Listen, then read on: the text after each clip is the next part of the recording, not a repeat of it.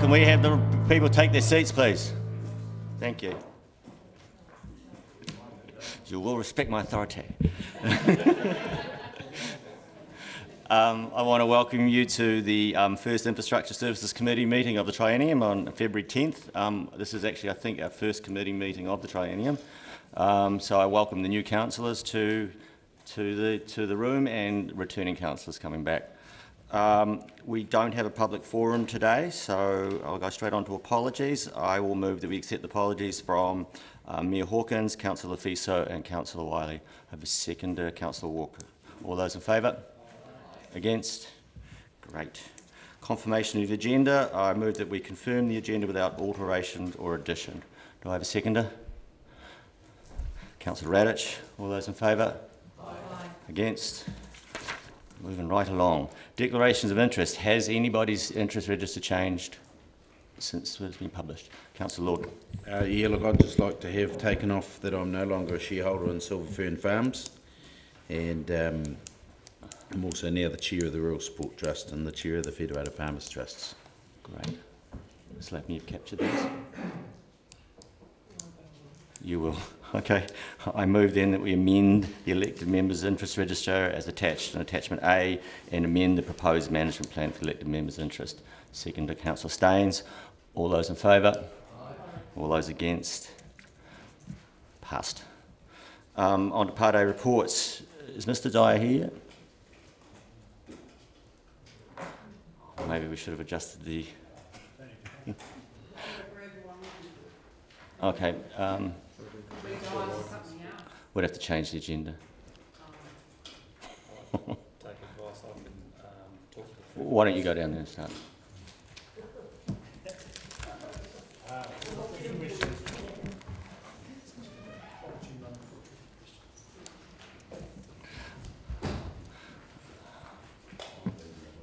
Welcome, Mr. Drew. Um, I just remind everybody too that these are activity reports um, for the last six months ending December, and so if you can make sure that your questions and your comments relate to what's on the report. Thanks. Any questions? Councillor Garey. I'm hoping you'll indulge me, uh, Chair. Um, Mr. Drew, can you just um, talk about? I notice there's a, a, section 16 which talks about the number of wet weather waste water overflows, um, and obviously that's impacted by, um, to some degree, by our knowledge. My question's around the rain radar. And whether we know, because we don't have really accurate information, uh, whether we know where that's, that progress is up to. Do we have any knowledge of that at all? Uh, I, I don't have an update on that. Uh, I asked uh, Mr. Dyer, who hopefully will turn up shortly, to get an update on that. Uh, when we talked about it last week, uh, we knew that there was a site that had been selected, but we don't know how far they were in procuring and um, installation. Well, their preferred site, I think, was what we knew. Uh, but uh, that rain, da- rain radar would be really beneficial for events like uh, last week, where um, was fortuitous that I was driving home and saw some of the uh, surface flooding and surcharging. Um, and, and we were watching the predicted weather patterns and, and thought the peak was coming later, but it actually turned up earlier than we thought. So we weren't uh, as prepared as we could have been if we'd seen that peak coming earlier. So am I right that it would affect how you manage the event? Yeah, it would give us more up to date, uh, real time information of, of where the intensity is. Thank you. Councillor Lord. Yeah, I just had a problem, so, uh, not a problem, a question, Simon, and it was um, page 23, uh, bullet point 32. It says the Carlisle Road uh, pump upgrades, and it says this project is to renew existing pumps at Carlisle Road. And I just wanted to ask the question, probably of Tom, but this is, I, I just want to clarify, this is not just a renewing of the current level of service. Uh, firstly, apologies for lateness. Um, Accepted. the the Carlisle Road pumps upgrade is a minor upgrade, so we're renewing the existing pumps uh, that are that are there already. We're not reconfiguring any pipe work. Um, those pumps will provide a little bit of extra capacity, but not not, uh, not a significant level. There is another project um, Reed Avenue. at Reed Avenue Yep. and Carlisle Road um, that will look at more significant upgrades in the near term. Sorry, so you will put a, your intention is to put another pumping station in at Carlisle Road as well as the current one being upgraded a bit? Yep. So the, so the current one is just a renewal of the existing pumps. They're um, they're very old and um, at a reasonably high risk of failure. Um, we thought it was prudent not to wait uh, until that other upgrade, but to put put these new ones in. Um, uh, gives us some breathing space to get the other upgrade work done properly. Yep. And the, and the Reed Avenue, um, if, if I may through the chair, the Reed Avenue final um, job, how, how much greater capacity will be there than the current Reed Avenue one? Uh, so the current plan is for three times more capacity um, at Reed Ave. Um, however, um, as you'll see in the report, there's um, we have had some cost escalations there, and we're starting to look at the viability of delivering that work versus something that might be slightly less than three times and three times increase, but potentially better bang for buck. Yeah, thank you. Thank you. Councillor Walker? Uh, Yep, th- thank- thanks for the re- uh, the great report. Um, Certainly intriguing uh, late-night reading for a first-time councillor. Um, Point 25, um, could you just give me a little bit of um, um, history around why the Warrington plant cannot meet the nitrogen limit scenario? Um, so Warrington was consented on the basis of the existing plant, um, so without any upgrades and, and that sort of thing, um, quite some time, time ago, so early 2000s, I believe. Um, the the consent uh, was for uh, the consent method or development method um, uh, included some scientific work around um, nitrogen limits, um, and we believe there was an error in that work. The nitrogen limits at that site are much lower um, than at our other sites, uh, and we've continued to um, have non-compliances there. Um, we've looked at upgrade options and looked at a whole bunch of other um, ways of dealing it with, it. We've looked at it, um, environmental impacts, so done some environmental impact studies, um, all of which have pointed to it not necessarily being a, a significant issue, um, uh, and with agreement from the ORC have uh, have said that we'll address it in the next round of consenting and, and upgrades, uh, which is a forecast for 2026. Councillor Elder? Thank you, Chair. Um, thank you, Tom, for your report. It's really good. I really enjoyed it. Um, I've just got three questions. Um, the first one relating to point five about um, the four services areas for water. And given that um, we had the fire, um, what um, measures are being ta- taken to protect those areas? Um, so since um, since the deep stream fire, we've done a little bit of work. We've we've learnt a lot about our systems in terms of how they operate and what levels of capacity we, we have. A, a lot of those numbers have been um, calculated or theoretical in the past, and now we can we can um, when we run a pipeline hard, we can kind of show exactly what kind of flow we can get and demonstrate resilience there. Um, with relation to um, the suppliers that were affected from that event, we've learnt a lot. Um, however, we, we haven't yet started looking at um, risks of other catchment fires or other events that might impact um, uh, other sources. Okay, um, second question was um, just about the number of foul sewer blockages, which is tracking lower, which is great. What does proactive cleaning mean? So, what do you do there? Uh, so, two, two or three annual plans ago, um, uh, two annual plans ago, uh, the council chose to fund um, an additional uh, uh, a sucker truck, um, a large truck that can flush and, and remove blockages from the network and, and clean um, certain bits of pipe. Um, we've so we've upped our maintenance program um, reasonably significantly. We've also um, uh, we have also done quite a bit of work over the last decade on renewals uh, in terms of trying to target our most um, damaged or, or affected pipes, and therefore the pipes most prone, to blockage, and that's helped to reduce um, reduce that trend over time. The what we're seeing now is that a greater proportion of the blockages we're seeing in our network are caused by um, by fat and wet wipes um, than has been and has been in the past.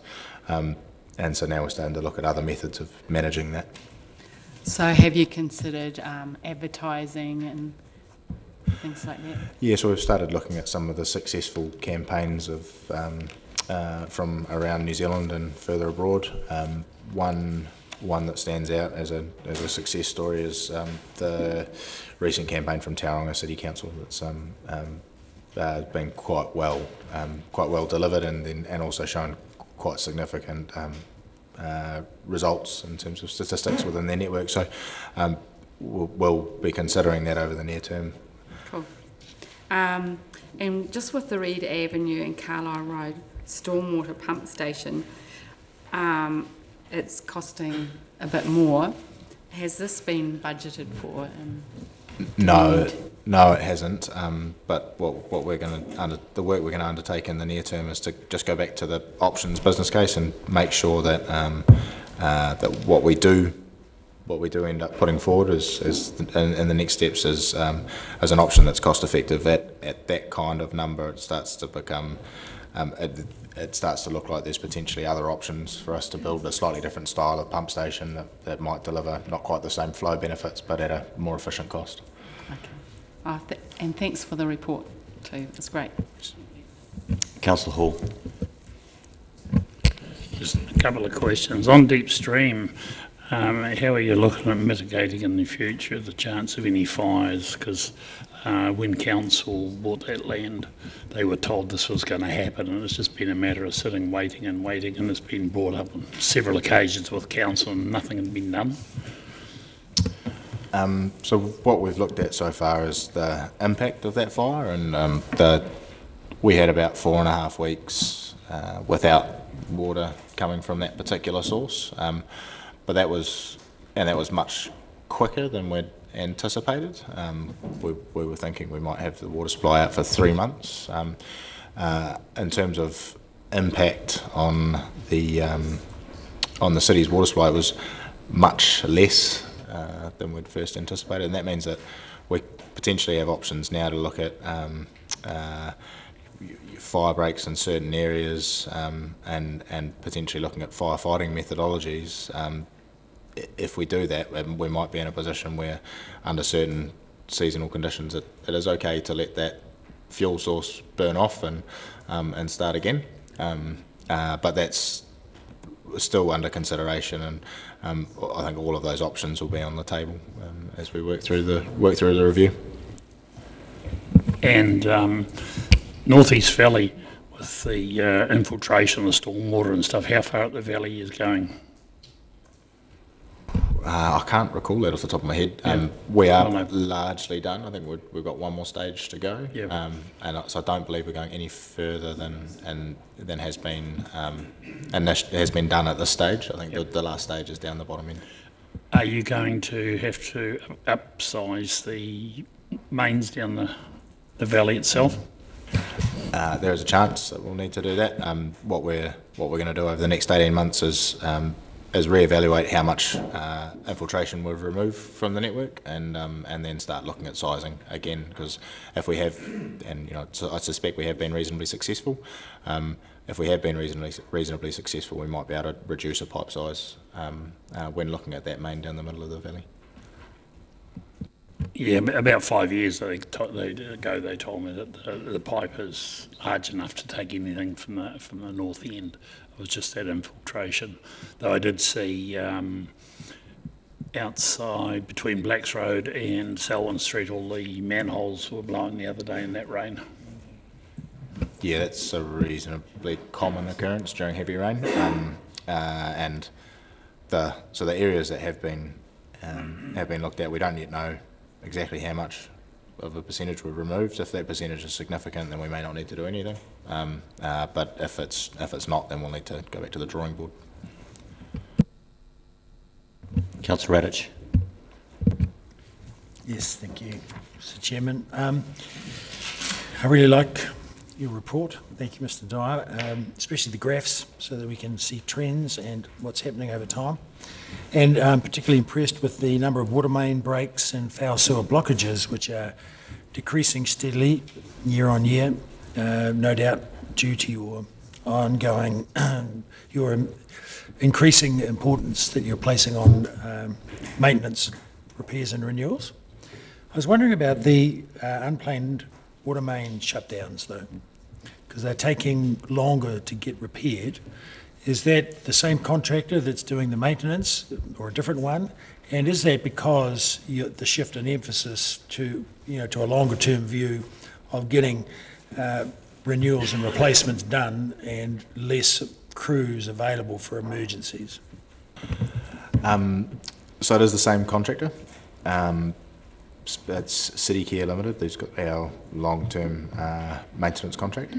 Uh, they, in terms of, uh, we've been watching those trends as well, and watching the water main failure rate go down, and and watching our um, our rate of um, or our number of minutes taken to uh, to repair or to get water back on back in service um, uh, bounce around quite a lot and become quite a lot more variable than it has been in the past. Um, there's potentially a number of reasons for it. One one is uh, that the because the volume uh, has reduced, therefore the statistical significance of one long uh, uh, shutdown um, as a bigger weight on or shows up in the graph more. The other is that um, potentially we're, we've targeted a whole lot of um, uh, water mains that uh, have a high failure rate, therefore reducing the, so we've renewed those pipes, therefore reducing the rate, um, but haven't targeted the ones with the longer shutdown frequency. Um, and that's certainly something that we'll be looking at for our um, next couple of years renewal program. Yes. Oh, The program's working, so that's good. Thank you. Councillor Van der Just to clarify detail on the infiltration issue that, that uh, was brought up by um, Councillor Hall. Um, I understand a lot of the uh, foul sewer pipes are, are clay pipes with uh, jointing issues. Are you actually digging these up and replacing them with plastic pipe, or are you actually uh, putting new liners down through the inside of the clay pipes? Uh, we haven't been lining any clay pipes as a rule. Um, uh, largely, we've been doing full dig and lay replacement, um, or um, a method called pipe cracking, which is um, uh, get a large uh, unit that thrusts uh, plastic pipes through the middle of um, the existing clay pipe and breaks it apart, um, which is a little bit more robust than uh, than lining, um, but still not the, the same kind of full pipe system replacement that dig and, dig and lay methodology is. Um, but both of those methods are being used um, predominantly dig and lay. And do you have a rough idea of the percentage of uh, pipes that have infiltration problems in the network? I mean, is it more than half of the um, pipes leading to the main sewer mains that, that have this issue, or is it a much smaller percentage? Uh, I, don't have that number off the top of off the top of my head at the moment. What I would say is that um, uh, most pipes of that vintage have, uh, if there's a water source around them, have a have a leakage or, or an infiltration issue, um, uh, just to varying degrees. Um, what we've tried to do uh, to date is uh, single out the suburbs and streets with the worst issues, and then and target those pipes, um, uh, looking at it on a um, on an impact and effects basis rather than um, uh, individual pipes. But it's um, yeah, it's a, an ongoing learning exercise, and as I described before, we'll we'll be monitoring uh, monitoring the success of that program over the next eighteen months, and um, uh, depending on the results of that, we'll, we'll adjust our approach. And the problem of illegal connections, which used to be a large problem, do you not think that is uh, so much of a problem anymore? And what are you doing to check to see whether or not we still have a lot of illegal connections? Uh, so the last modelling exercise we did um, certainly highlighted that our greatest um, bang for buck in terms of investment would be to target infiltration rather than inflow. Um, uh, but we'll ask that question again through the, over the next 18 months and um, uh, through our next modelling exercise. And if uh, if it if we're starting to see a um, quicker response time in the network, then that would indicate, in certain areas of the network, that that would indicate um, that a targeted um, uh, sewer separation program would be worthwhile. And if that's the case, we'll do it. Thank you. Councillor Garey. Um, this was a really comprehensive report, but I did notice there wasn't anything in it about progress on the um, public-private uh, stormwater issues, and I just wonder if there's a reason for that, and, and whether or not you're able to give us a verbal update. Um, so to date, we have um, completed one um, uh, one new pipeline in um, Beaconsfield Road on the peninsula. Um, uh, that that work is, uh, I, I think, all complete now. Um, so it was the site. Um, uh, it was a site where the um, sinkhole developed in the man's backyard.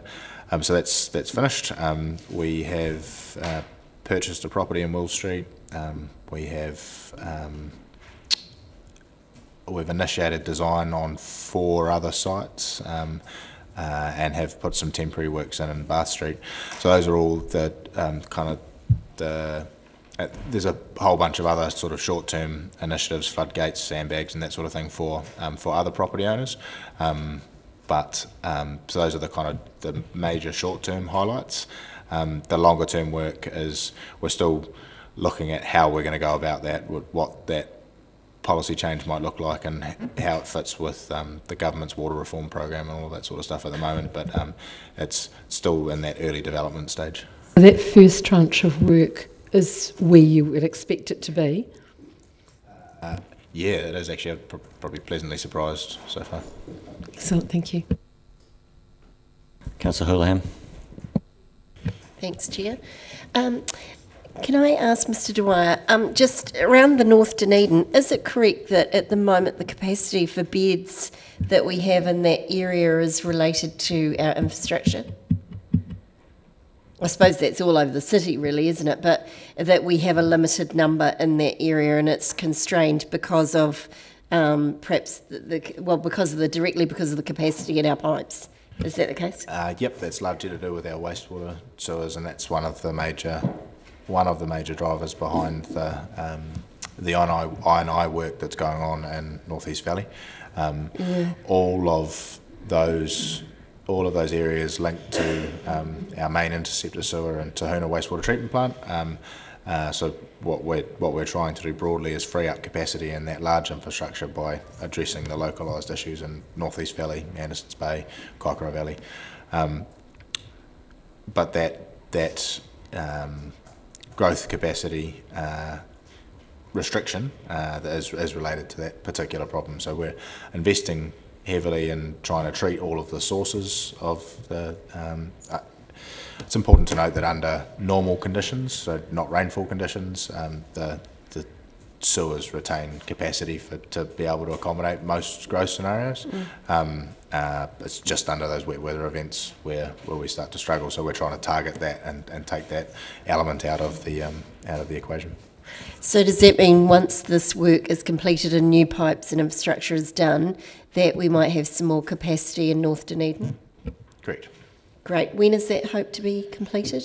Uh, we will know how successful we've been with that program in 18 months. Um, Okay. Uh, and so I won't be able to promise that growth will open up to all areas in 18 months' time, but that, there, there might be an opportunity to relook at that then. Um, if not, it will also give us the ability to forecast out the next program of works over the next five to 10 years, um, and that'll, that'll again give us an indicator of when those um, uh, when we might be able to open up those areas for more growth. So would that go in the LTP and say that we now expect there could be more capacity, so we could change, I think at the moment it's 45 square metres per bedroom, so that could then change in the area, could it? Is that, It, yeah, it could, and obviously that's the, the wastewater uh, capacity element is, is one piece of the puzzle for, for our planning teams and all of that sort of stuff. But because I'm sure there's more that drives that 45 square metre rate.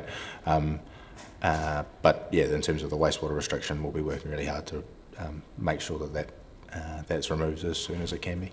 Great. Well, that would be really good for North Dunedin. Um, one more question. I know a few years ago there was issues some people were talking to me about with lead in their pipes. Do you know if we've got any, what percentage of pipes still have lead? Uh, I don't know what percentage. Um, we wherever we do uh, come across a lead jointed um, uh, a lead pipe that has the lead. Um, uh, if it is a lead pipe, we remove it and replace it. Um, this this happens very infrequently. I can't recall a time in the last two years um, uh, where we find a lead jointed pipe. If that lead is exposed to the water, um, then we look at cutting that out and replacing it as well. But that's um, uh, again happening very infrequently. There's a large program through the late 80s, early 90s, and 2000s to remove all of the lead pipes out of the city, um, which was pretty comprehensive. Thank you. Councillor Benson Pope. Just on that issue, um, one would assume though that any um, and also the majority of galvanised, of galvanised pipes are on private property rather than our central system. Uh, that is true. A, a lot of the time, um, if we've got galvanised pipe in the street, it transfers through to galvanised pipe in the in the property. Um, the and so during that program of work to remove um, galvanised pipe and, and lead pipe from the um, uh, from the city, we were offering um, uh, a whole bunch of subsidies through different methods to property owners as well to make sure that they got their internal plumbing done. Excellent, thank you. Just other question about the infiltration issue into the stormwater, into the wastewater system that was traversed earlier. Um, well, I think we all understand the need for that work, um, but the downside of stopping that water getting into the sewer pipe is, of course, that you've got more stormwater or groundwater to to control or manage. Um, you confident that the, proce- the procedures you're following cope with that associated challenge?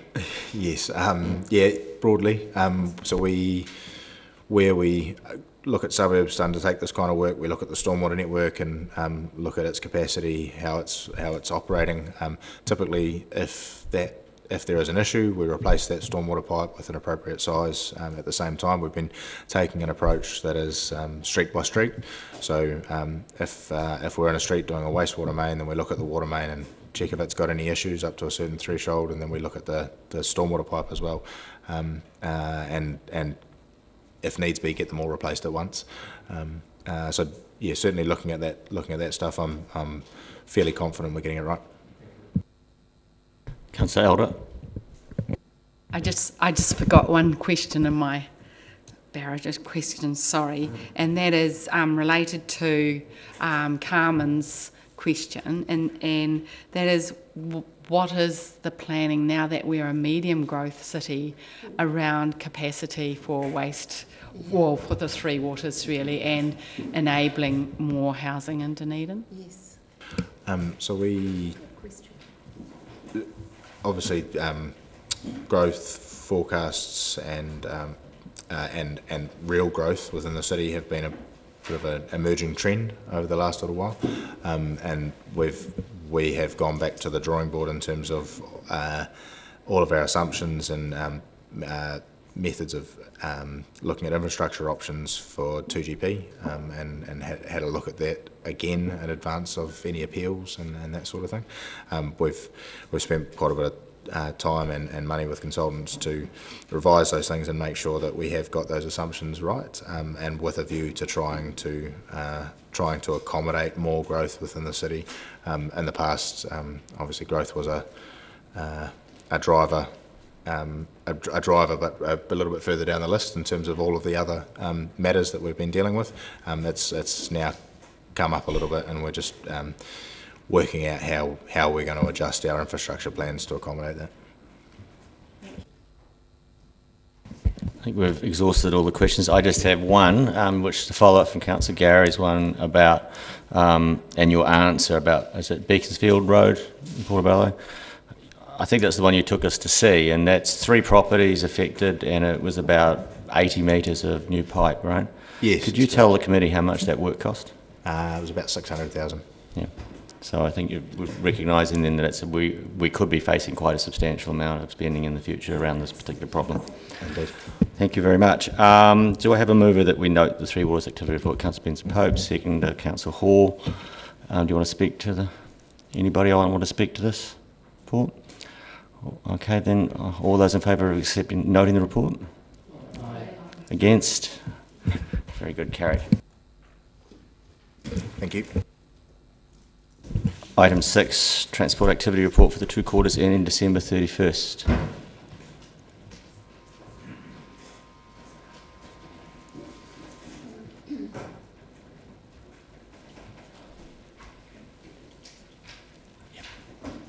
Welcome, Mr. Sargent.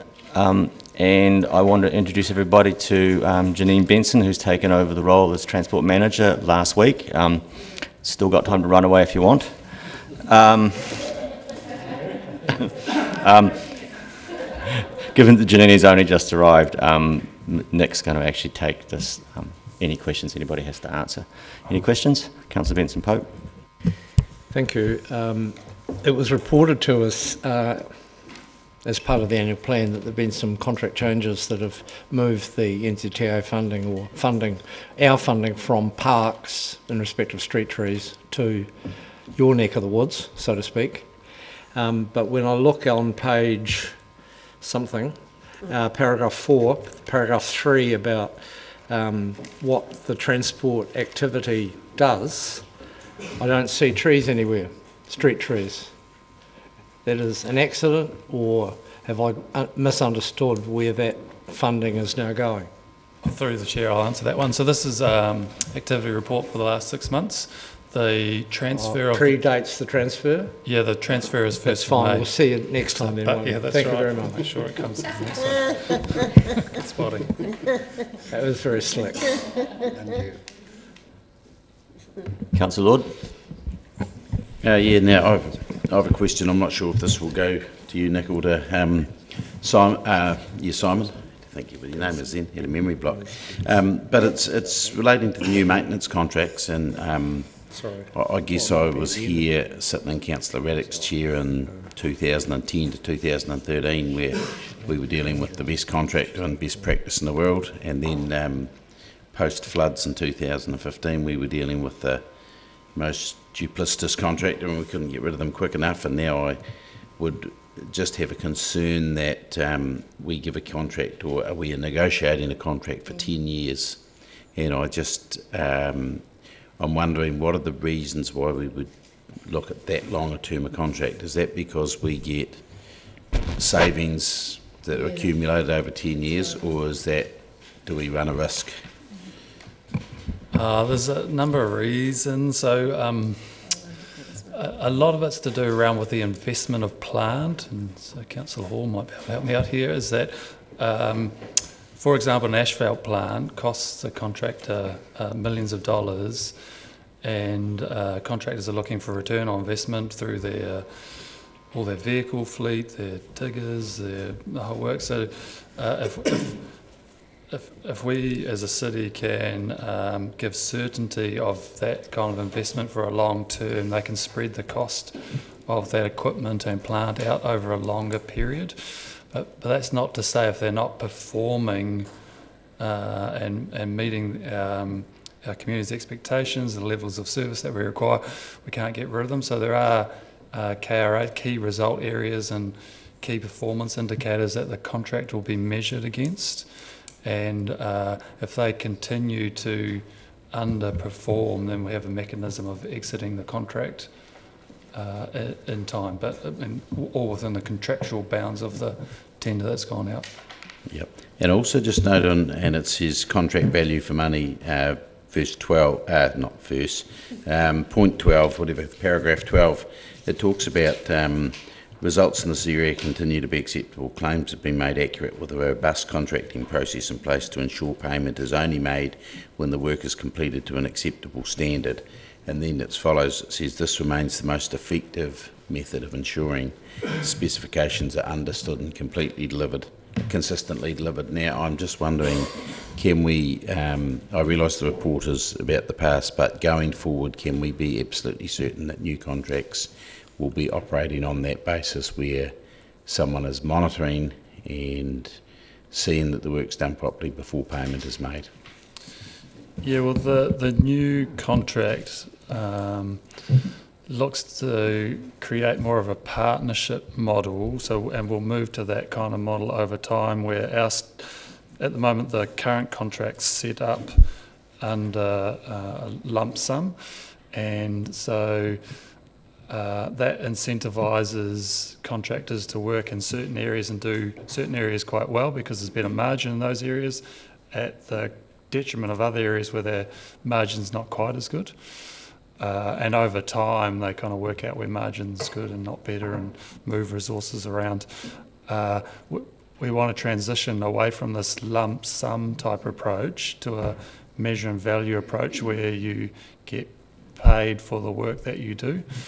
Um, and and and that, that will start moving us away from the carrot and stick approach at the moment, where we, uh, you, know, we, we give you some money if you do your job well, or we uh, knock, wrap you over the knuckles with a stick if you don't do your job well. Um, but that'll take us some time to transition to that model, and, and then the resource is is more about um, using the resource to work out where we should spend the money on the network, and we're collaborating to say this is this is the right time and the right place to invest some money in the network here. Um, and rather than a whole lot of resources running around just monitoring quality, so we want to get to a place where those resources that are monitoring quality, we actually have trust that the contractor is going out there and doing what they said they're going to do, um, and and we use those resources to um, program the network, look at forward planning works, that kind of stuff.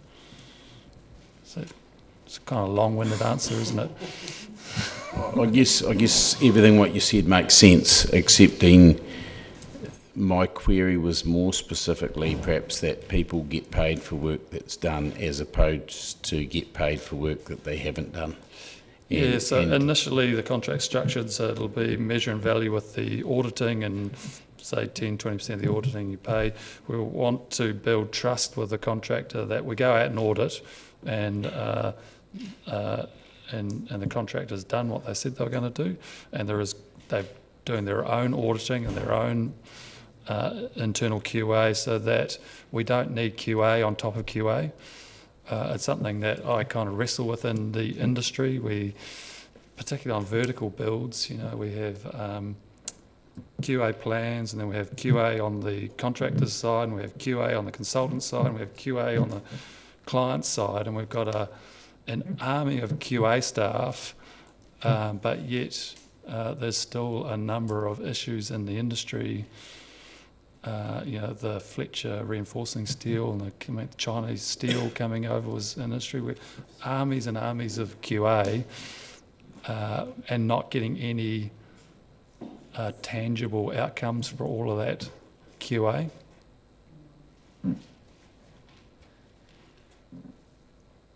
If I might phrase it another way, I guess the, the question I'd like to see is ultimately that we are responsible for seeing that the job's paid and therefore we should be the people assessing that it's done properly rather than having um, someone else telling us that they've done a job properly because there is a difference. Do you know what I mean? That's Yeah, yeah, there is, and there is elements of it. I guess what I'm saying is that over time we want to move to a place where the we have confidence that the contractor's QA is robust, and we don't need to have the QA on top of QA on top of QA.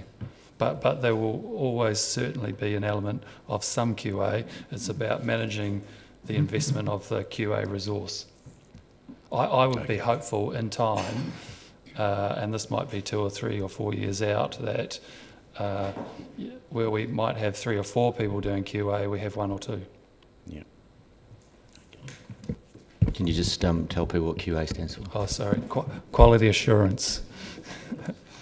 uh, Sandy gives me a hard time for the jargon all the time. Councillor Garey. Thank you, Mr. Drew. I've got three questions about the Peninsula Connection. And I note on um, item 22, it talks about where that's up to, and there's some exciting developments. I wondered, are there any plans, given this next stage is about to start, are there any plans for comms to the community just to remind them about you know, how we got to this point because we do have people arriving in the community that weren't part of the journey to get here and who don't remember that the community agreed to multi roadworks on that road. Are there plans for some comms? And I'm not sure who I'm directing the question to, Mr. Sargent or yourself, Mr. Drew. I'll take that one as well. Uh, no, that's a good point. Look, majority of the comms have been about what's happening now and what's happening in the future, uh, and there hasn't been a great deal on the journey that we've taken to get to this point. I think that's a good idea. I'll, I'll take that up. Because the people who know the journey have no problem with it, but the people who've arrived perhaps do. Um, second one was on Waitangi Day. Some of us um, were in the bus on the way to Otakou, and we passed by a section of road uh, quite near to um, Otakou Marae, near the fisheries. That's not part of the funded section. It's, be, it's out of, of that package because it ranked very low in terms of the business case. Um, and, I- and I know I've been assured that, that uh, transport staff are, are looking for other funding. As we get closer to the end of the funded project, um, can you update me on progress um, to find other funding sources to complete those final bits of work? So the other uh, funding sources we're looking at are just general renewals. So we go through and do a reseal. Uh, we can look at extending the shoulder at the same time, uh, but uh, there is no that I'm aware of. Mr. Sargent might be able to uh, put some more detail on. No more additional NZTA funding for the project, so it'll be um, out of existing council budgets to deliver those outcomes. And are we confident we'll be able to do that to finish the project? Uh, I'm not across the detail. I know some areas will be um, not easy, but it'll be um, uh, doing a reseal will be a way of doing it. But to deliver separated cycleways, uh, I haven't seen any kind of concept designs and costs around that. Just the talk of uh, extending the shoulder during a reseal to create a space for cyclists. And my final question is around uh, confidence that the health and safety issues that were experienced last year on the um, city section of the uh, roadworks where we had a couple of accidents. So we're confident that that's been addressed by the contractor such that, you know, we'll, people, the people working on the road will go home safely at the end of each day for this next section as much as we, we can tell. Yeah, that's right. Well, health and safety is something that we never stop uh, looking at and continually improving. So the contractor has put some new measures in place, and you may or may not have seen the scaffolding along um, the edge of the seawall recently. Uh, and uh, we, DCC, uh, also um, sort of stepping up our uh, level of commitment. So we've had an independent audit look at the um, site recently, and we will continue to go out there and audit ourselves and make sure. But but yes, everyone's committed to everyone going home safely each day. Thank you. Councillor Van Um, thank you. Uh, item six on page 27 talks about a uh, th- that uh, at the time of writing the report, a preferred supplier had been identified. Can you tell us who that sup- the preferred supplier is now? No, we're still at the ends of uh, tender negotiations, and the uh, the procurement report will go to the tenders board on Wednesday. Uh, so if that is ratified on Wednesday, I'll be able to notify council after Wednesday. Great, thank you. And on item eight, it talks about the um, the, the new maintenance contract uh, that, that you're still finishing off. Um, having a stronger focus on sustainability in line with the corporate policy of council becoming carbon neutral by 2030. Um, is this council becoming neutral by 2030 uh, really just an aspirational idea, a bit like the zero waste idea that we had a decade ago and still haven't done? Uh, well, it's an aspirational goal that was set by council, and staff are working hard to do all we can to meet that goal. Is there, in fact, really anything you can do given that you've got transportation that's still fossil fueled, you've got asphalt, which is all fossil fueled, in fact, everything you do is fossil fueled. Um, Councillor Vandervis, I think the chief wants to answer that question. Um, so uh, 2030's coming upon us fast. There's no doubt that um, for the staff thinking about being zero carbon by 2030 rather did amp up thinking about what we would have to actually do, uh, not only here at the council in terms of leading by example with ourselves, but also um, as a city. Uh, so all of those initiatives basically uh, have to be um, a really pretty clear signal about what would be required in the annual plan for, uh, in the 10 year plan. So you'll be getting quite a lot of information about this over the next few months as, st- as staff start to come up with things both for ourselves but also for the city. So you've got a balance of uh, reducing carbon emissions, but there are some things we do that you're simply never going to be able to replace them. So both reducing carbon emissions and also offsets. We'll be having discussions about the relative balance of both of those things and what's what's doable and what's not uh, over annual plan. My question really was that in the transportation space, this is a transportation activity report, is in fact there anything that we can actually do to become carbon neutral by 2030? And I think that's a discussion for the 10 year plan when the various options get bought. So there'll be, as I say, a, a, mix of things we can do to reduce carbon emissions, but also things we can do to offset carbon emissions. That'll be a discussion for the 10 year plan work, that, that balance. There's sort of small steps that the contract takes along the way, noting that it's a bigger, broader issue. But just one example is the preferred tenderer has committed to, uh, has some more jargon. Um, LMPVs, light maintenance patrol vehicles, their entire fleet, I think there's seven of them to manage the network, will be electrified. Um, and, and so some of the, uh, I think it was 15% on sustainable carbon zero type outcomes, and uh, the preferred tenderer scored highly in that space because they were electrifying their fleet. Thank you very much for that. Um, moving on to the graph on page 29, is a pretty severe dip around April and then May of last year. Can you um, let us know what that was about in terms of the um, monthly CSA response times?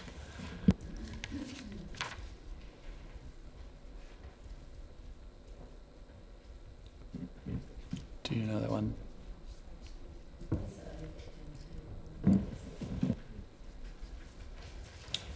Oh, yeah, that's, so I'm, I'm not sure. I, I, I'll find out and come back to you if you like.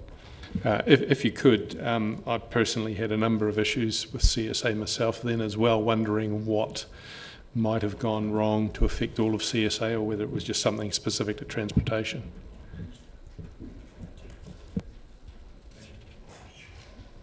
Councillor Walker. Uh, thank you, and thank you once again for a good report, and welcome, Ms. Benson. Transport's an easy portfolio. Um, I have a couple of questions, and, and uh, Councillor Vandervis hit on possibly my first one. It was about uh, point eight under the road maintenance contract.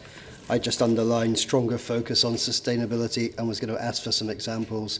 You gave the one about the light electric vehicles. Any other things that spring to mind? Um, if there's not, don't. Uh, well, one other thing is there is a, I can't remember the community group, but it was to do with possum trapping, and um, and in their normal duties, they would were offering to lay possum traps on their way out to a number of sites, and then manage the the results of the trap. Um, so that was another one that springs to mind. It's not carbon zero, but it was a kind of social community outcome. Well, I, certainly I'll be very interested moving forward to, to, hear, to hear what further measures uh, maybe will be in place. The other uh, point um, is around number 27 and the LED streetlight installation. And I speak sort of at a personal level here, having had a temporary replacement outside my house that seems akin to the North Star. Um, the how, how is that progressing, the delays, and where, where do we sit now with that LED program? Um, so my understanding is the project is uh, slightly behind schedule at the moment. The contractor has some resourcing issues, uh, and but is working hard to address those issues. Uh, and staff are still confident that we can deliver the program by the time the NZTA funding window closes. To add something? Yeah, may I just add something there which goes to uh, uh, the question you're asking? We are, as we start to replace uh, incandescent bulbs with LED bulbs, and the incandescent bulbs which fail, we will get these spot replacements. Um, and those will appear brighter until we can get the central management system in place to adjust the lighting levels for the system. So, uh, so other cities that have had this rollout have experienced this, uh, and so when we get the full system working, we'll then be able to um, uh, sort the light levels out because it will appear bright and unusual to you, um, but that's because it's probably operating at a higher bore than it needs to at the moment.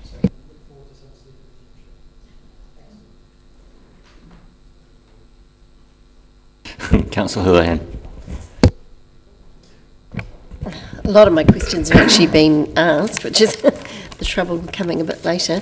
But um, yes, I had I had that as well around the focus of what were some of the things we're going to do for sustainability, and that quite a bit of that has been asked. I also wondered who the new contractor would be, and so it sounds like by maybe Wednesday we can know that. Is that the case? Will you email us that, or something? That would be good to know. Yeah, I can do that, possible. yep. That'd be great. Thank you very much. Um, I had an issue around um, just with the new contractor. What um, you know, I just wondered what sort of things are being promised in the negotiations for what they'll be able to do. I because it's a ten-year contract. It is a long contract. Um, and obviously, I assume it'll be covering some of the things in our LTP. But are you able to say what some of those major projects are? And I'm particularly interested to know, you know, obviously, uh, what are we talking to them about around the George Street upgrade?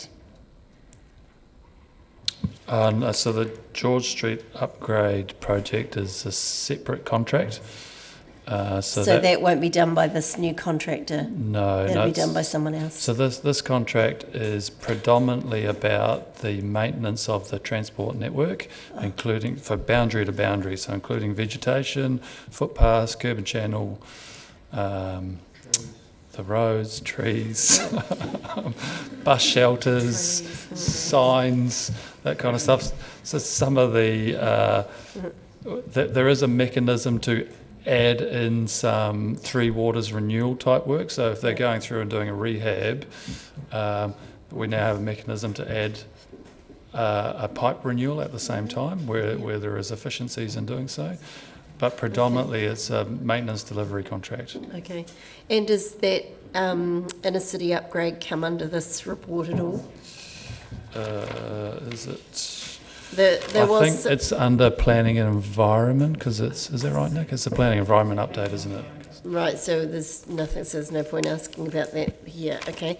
I had another question around. Um, yeah, I had noted the April. I was curious to know, but you were going to come back with that. So I've got here TMP audits. Um, can I just clarify what they are? I've got. I just put that down. I wasn't sure what they. Um, whenever anyone needs to work in a road, they need to have a temporary traffic management plan. Right. Um, and then part of the function we provide is to go out and audit the temporary traffic management plans that are in place Yes. to see that they're complying and doing what they said that they would do. Oh, okay. Thank you very much. On um, page 30, it's got our streets. I just wonder what streets is that referring to?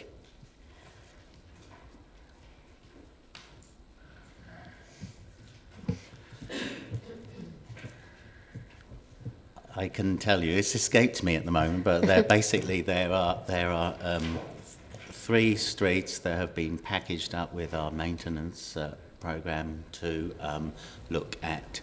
Uh, we did a consultation on our streets a, a while ago, and there are three streets that have been packaged up so that we can look at crossing points and. Uh, They must be that sort of reasonably significant because it was They are. They're on year. our arterial network, and they've just escaped me at Oh, the moment. So I'll I'll provide you a note to tell you exactly what Okay. streets they are.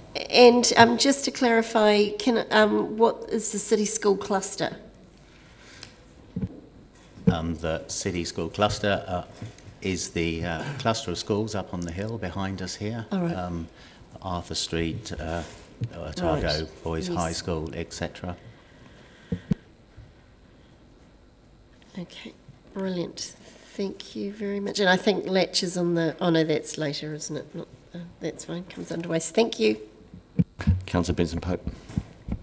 Thank you, Mr Chairman. Um, I'm delighted to see the whole raft of safety improvements, uh, in particular the ones around schools that have just been referred to. Much and all, there's a few punters out there in the community who don't like things you can notice and see, but I won't dwell on that. But I, I've um, I've had a lot of concerns raised with me recently about general speed across the vehicle speed across the city. Um, I'm not in a position to to know whether um, the concern that's been conveyed to me or my own observations of what I consider excessive speed and bad driver behaviour are real or different. Do we do any monitoring um, of actual speeds and across the city in various environments? And is there much policing of vehicle speed within the city by the constabulary? Do you know? Um, two parts to that question. Uh, first of all, um, do we do monitoring of speeds? Yes, we do. We have a regular uh, traffic counting program, and part of that is monitoring the speeds. So uh, we monitor what's called the uh, 85th percentile speed. Um, so, for example, when you see tube counts around the city, as well as counting vehicles, they're actually counting the speed that the vehicles travel across those tube counts. Part of the normal non-financial reporting at, in the committee round, I assume. Uh, we've never reported that to you. It's generally used uh, uh, for officers for technical assessment of what's going on on I the thought it would road. be helpful for us to know, so perhaps we could ask for a look at that on a trial basis anyway for the next reporting round. Do you want to bring it up for matters arising at the end? to Certainly, capture yep. that?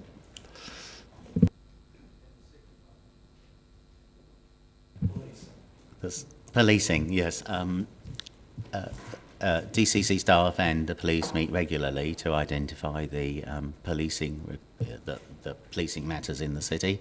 We don't have direct influence over where police uh, allocate their resources, but we certainly raise um, matters that we would like uh, attention uh, devoted to with them.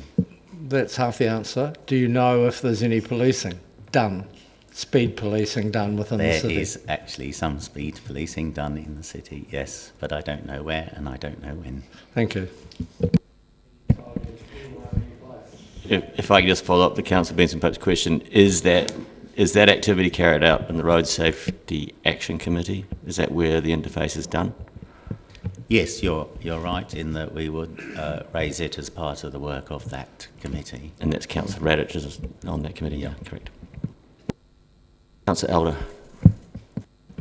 Thank you for your report, and I've got um, three questions again. Um, just with the um, purchasing um, of contracts, do you use the um, new purchasing officers to help with um, create, you know, getting um, bids for contracts?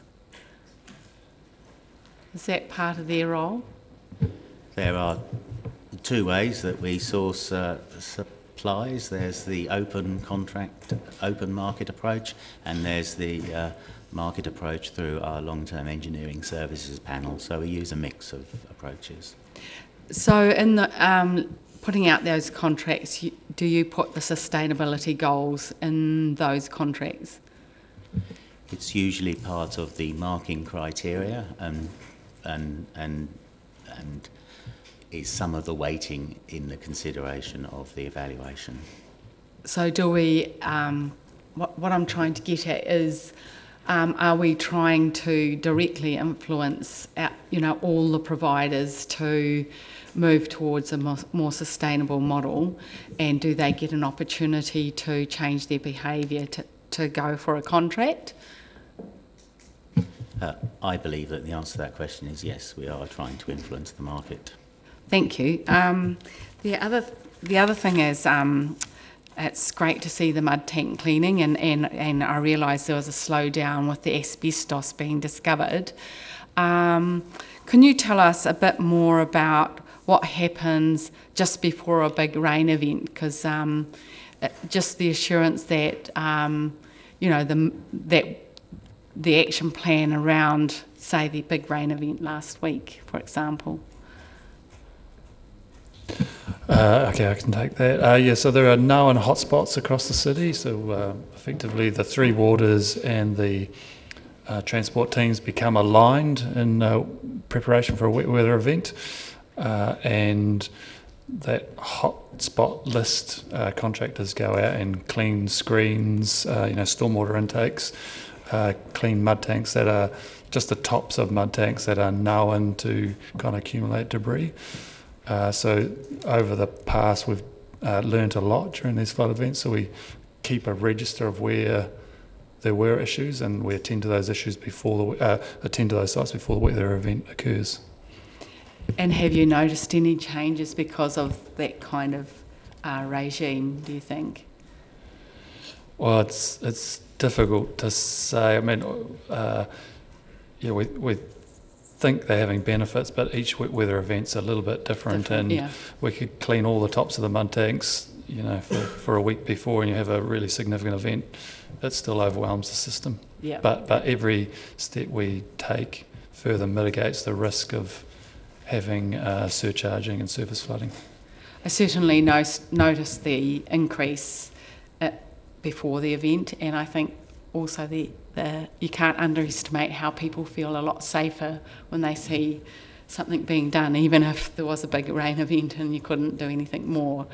Um, but, you know, I just congratulate you guys for doing that. Um, I think that was it. Um, oh, that was the other question. Um, we made a resolution a while ago just to do uh, audit of the parking in the central city, and I was just wondering where that was at. Uh, yes, we're presently um, working to uh, I scope the work program and actually procure the supplier for that uh, work program as we speak. Councillor Staynes.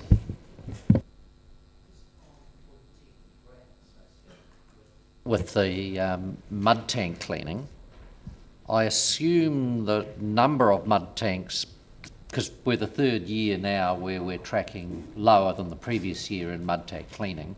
My assumption is that we now have a better idea of which mud tanks need more frequent cleaning, and therefore the total number we're cleaning is less. Is that correct? Yes, uh, so I've sent a few emails around in the past uh, at Councillor um, Vandervis's request, and uh, a lot of it is checking and knowing that they don't need to be cleaned. Mhm. Um, and so this is a reflection of a generally a well, this year is a reflection of asbestos in the mud tank slowing us down, but generally it's a reflection of what needs to be cleaned as opposed to cleaning everything for the sake of cleaning it. The other question with that graph that I had is it does have a performance complying, percentage complying, and there's only the target, but there's no measure of what we're actually achieving. Is, is that just something that's been left out? Yeah, no, I think that I I tried to question and get rid of that line. It's been there since I um, have been with DCC. So there, there used to be this, I think this might be the history, this compliance level of cleaning 95% of them, but you, you didn't need to clean, clean 95% of them because there could be some mag tanks in the city that never need cleaning because they don't accumulate debris. Uh, I, I, I need to uh, understand what that number there is for because it doesn't make any sense to me either. It- Well, my reading of it is it says is the percentage conforming mud tanks, so I'd assume that's um, if we audit tanks that have, they, that have been cleaned by the contractor to make sure that they have been cleaned, that we find 90%, of- 95% of them are definitely clean, but that's what it would indicate to me, but it doesn't seem to have any No, well, the scale's not right on the left-hand side. Yeah, yeah no, I take your point. I'll follow it up for the next one. Um, I had a question around um, paragraph 27, which is the LED street lighting. When we were looking at LED street lighting, there was comment made that properties that had a problem with stray light could, under the, with the new LEDs, could request a shield to be fitted to, to specifically cut down the light crossing their boundary. So the question I've got is, is that correct? And if it is, when you're rolling out street lights in, a, in an area, do you put a letter around the residents to say, we're fitting the street lights, um, do you have a problem with stray light now? And would you want a shield fitted so that we actually can do it at the same time rather than bringing a gang back and climbing up to put a shield on a light because someone's requested. So, for instance, Councillor Walker's problem now with a very bright LED light, could he ring up and say, could I have a shield fitted to cut down the stray light to my property? Uh, I'll try and answer that question as best I can. The, the shorter answer is to it is yes, but only once the rollout reaches the road in question. As I alluded to earlier, we're in this in-between phase where we've had failures. We're putting up LEDs to replace them quickly, and then they're causing these effects. But nevertheless, uh, if we've got an un- if there are other undue issues, they could ring us up to draw our attention to them um, and, and let us know. But uh, there's this um, in-between phase at the moment, so some. Making clear at the table, Councillor Walker isn't seeking any favouritism. No, but you, if you're experiencing it, someone else will experiencing it, etc. Um, Dr. Radich. Yes, back to the question of road safety. Um, I note uh, the school safety project in Arthur Street in particular has a series of consistent speed bumps along it uh, that regulate the speed of traffic along that street in front, right in front of the schools, in particular Boys High.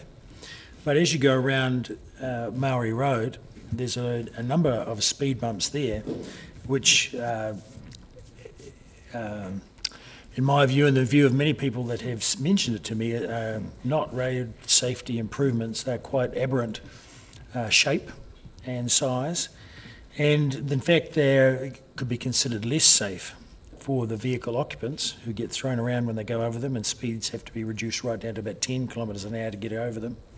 And certainly less safe for emergency service vehicles who may uh, might well no longer use that road because uh, perhaps a hosp- uh, an ambulance, someone would be thrown around in the back of that ambulance and it'd be far slower to get along that road. And in fact, school buses, uh, which would be using that road to service Boys High amongst other, the other schools in that area, uh, we're much less inclined to use that route. And so they'd be, um, the Maori Road. Councillor, you've got to get so to a question. Yeah. Yes, so the question is, um, how does those aberrant speed bumps fit with the road safety plan? It actually uh, fits in a, with a question that was asked earlier when we monitor our speeds in the city. If speeds are, are high on a particular road, we, they, it then draws our attention to the fact that there is a speed problem. Uh, Maori Road, which you've alluded to, is a significant uh, walking route for kids coming to and from school, and we identified a speed problem, and the solution to that speed problem is uh, treatment um, because people don't conform to the speed limit voluntarily. Um, so that's the history uh, of those particular treatments, and in common with many of the other treatments that you will see, they are designed to slow speeds. So why are the speeds on that section of Maori Road so much, or uh, regulated to be so much slower than the speeds right outside the schools on Arthur Street? I think it's uh, pick up uh, another part of your question. I think you can't do everything all at once, so you have to have a program and you have to uh, uh, pick your uh, best streets first. The other thing to bear in mind, which goes to the other part of your question, is that um, not every street has a, a, road hump, and there are other streets that you can use if you don't want to experience road humps. So um, it comes back down to choice, I suppose. So no, that's not quite my question, sorry. The, why are the speed humps on Maori Road uh, regulating the speed, why are they there to regulate the speed so much lower than the speed humps that regulate the speed outside the schools? So what I'm saying is, outside the schools, there's a fairly consistent level, uh, there's a fairly consistent type of speed bump throughout Dunedin, and I'm thinking perhaps down Victoria Road and, um, you know, uh, other places, they're really consistent in the speed you can go across, but those ones on Maori Road are much slower. So why do you want the speed so much lower on Maori Road? I can uh, partly answer that as I spoke to the um, safety team leader last week and I haven't updated Nick on this discussion. So the speed bump is a standardised speed bump. It's not, it's straight from the NZTA draw. Uh, the uh, safety team leader is going to go and have a look at it and he has asked some uh, staff uh, in the department that rode motorcycles to have a look at it in particular and drive over it. Uh, he he thought that one of the reasons it, it seems more violent than it should is that there's a, a downward slope into the speed hump and it might need to be adjusted because it's designed for a flat road, not a slope onto a slope. Anyway, so staff are, are going to um, audit those particular speed humps uh, over the next week or so and just make sure that they are not creating another safety hazard. Okay, and last question is, uh, so are the AA and emergency services and various transport operators consulted with the design of the various road safety improvements around the town? Usually the police and fire and emergency and ambulance are all on our standard stakeholder consultation list. Uh, and the reason why I asked that is when I was uh, with the AA meeting recently, uh, they felt they hadn't been consulted over various ones. Not the AA, uh, but the fire and emergency services, yes. Right, so next question, do you think the AA should be involved, seeing as they're, they represent 45,000 road users around Otago? Um, yes, I mean, it's always an open question as to who and uh, how, who you involve and when, and do you consult narrowly or do you consult widely? Um, happy to review that. Councillor Hall. With your, your new contract to, the new contract, they responsible for the water table, culverts and everything in the actual road that looks after the stormwater system or just the, Yeah, the road water tables, yes, so boundary to boundary is the new contract's responsible for. because the biggest problem I see is the build-up of vegetation and the head of all those culverts hasn't been cleaned out for years, a lot of them. Um, yeah, as long as that's covered. And a compliant mud tank, is that a clean mud tank? Uh, not clean, so there's, there's a, a, a certain tolerance of build-up required, and then once you get over that Yeah. tolerance, or we're getting close to tolerance, it gets programmed for a clean. Yeah, it used to be, it had to be, six years ago, it used to have to be 250 mil below the invert, but before it was compliant. That sounds familiar, but I don't know off the top of my head. Yeah. Like, Councillor Barker. Councillor Vandervis. Um, on the issue of uh, speed bumps, uh, I think Councillor Radich does have a point. Um, I can see why you might get a reduction in accidents in these streets, considering I now no longer use Maori Road, Dunbar Street, or Rattray Street because of the damage it does to the underside of my car, which is a little bit low at the front. Um, every time you go over a speed bump at any speed, you get the scrape. The one at Dunbar Street has had so many cars scraping it that, in fact, if you have a look at the Dunbar Street speed bump as you go in, it's nothing but hundreds of serious scrapes that must have damaged a lot of underbellies of a lot of cars. Um, I believe that the uh, there's just far too many of these, and that there's no um, going back from the issue.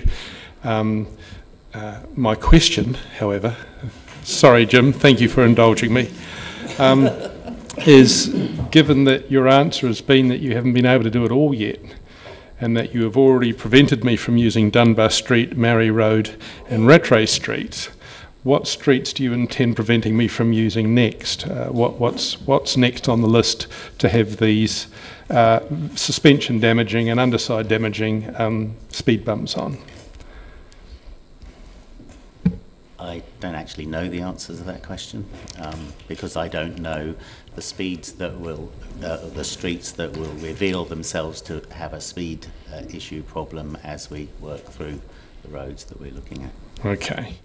All right. Um, my other question goes back to mud tank cleaning, and maybe this is one for Simon. Um, uh, in uh, after the 2015 floods, when a sucker truck was called up from Invercargill because our contractor didn't have one here and hadn't had one here for a whole year, in fact, um, of, of, being paid for doing mud tank cleaning. The, the Invercargill contractor told me that what they do in Invercargill is they routinely clean all of the mud tanks. They don't selectively decide which ones really need it. They clean them all. And he said that the real advantage of doing this is that they can do 170 of them a, a day because the sediment doesn't have time to compact and turn to concrete and have to be chipped out with a crowbar. He said they hate coming up here to Dunedin where routine maintenance hasn't been going on for quite some time and that um, they can, only, they can only clean 20 tanks in a day. My question is, have you looked at routinely cleaning all of the tanks as they do in at least some other centres? Because it can be done much more quickly, uh, much more efficiently, and you can be guaranteed then that you will not get the uh, the profusion of little lakes that we get around Dunedin every time we get a decent rainfall. Um, the lake at the bottom of uh, Pine Hill, uh, under the overbridge there, uh, I've had to drive around many times. Um, uh, the lake that develops just south of Ulverston on, on Queen's Drive there has been there so long, I've just about decided to name it Lake Ulverston uh, because it's a routinely uh, filled up, flooded um, uh, mud tank, admittedly with a lot of uh, foliage around, and I can understand why it fills up. Why is it that we don't, like other cities, more routinely clean all our mud tanks and have less of this problem that I haven't seen in any other city? Uh, I, I, don't know the answer to that question. I'll take that on advice though and discuss with staff and um, see if there's any kind of underlying reason why we take that proactive, only clean what needs to be cleaned in terms of sediment depth in the sump. Okay, um, could I uh, also ask that you perhaps talk to some of the out of town contractors, like the uh, people from Invercargill, for instance, who are called up when there's a real problem here? Which contractor is the Invercargill contractor? Um, oh, it was water something. Sorry, I can't remember. They, they do all, they've done all the Invercargill ones for many years. I can look it up if, if you like later. Councillor Houlahan. Uh, my question's already been asked. Thank you. Much. I just have one quick question about the LED rollout.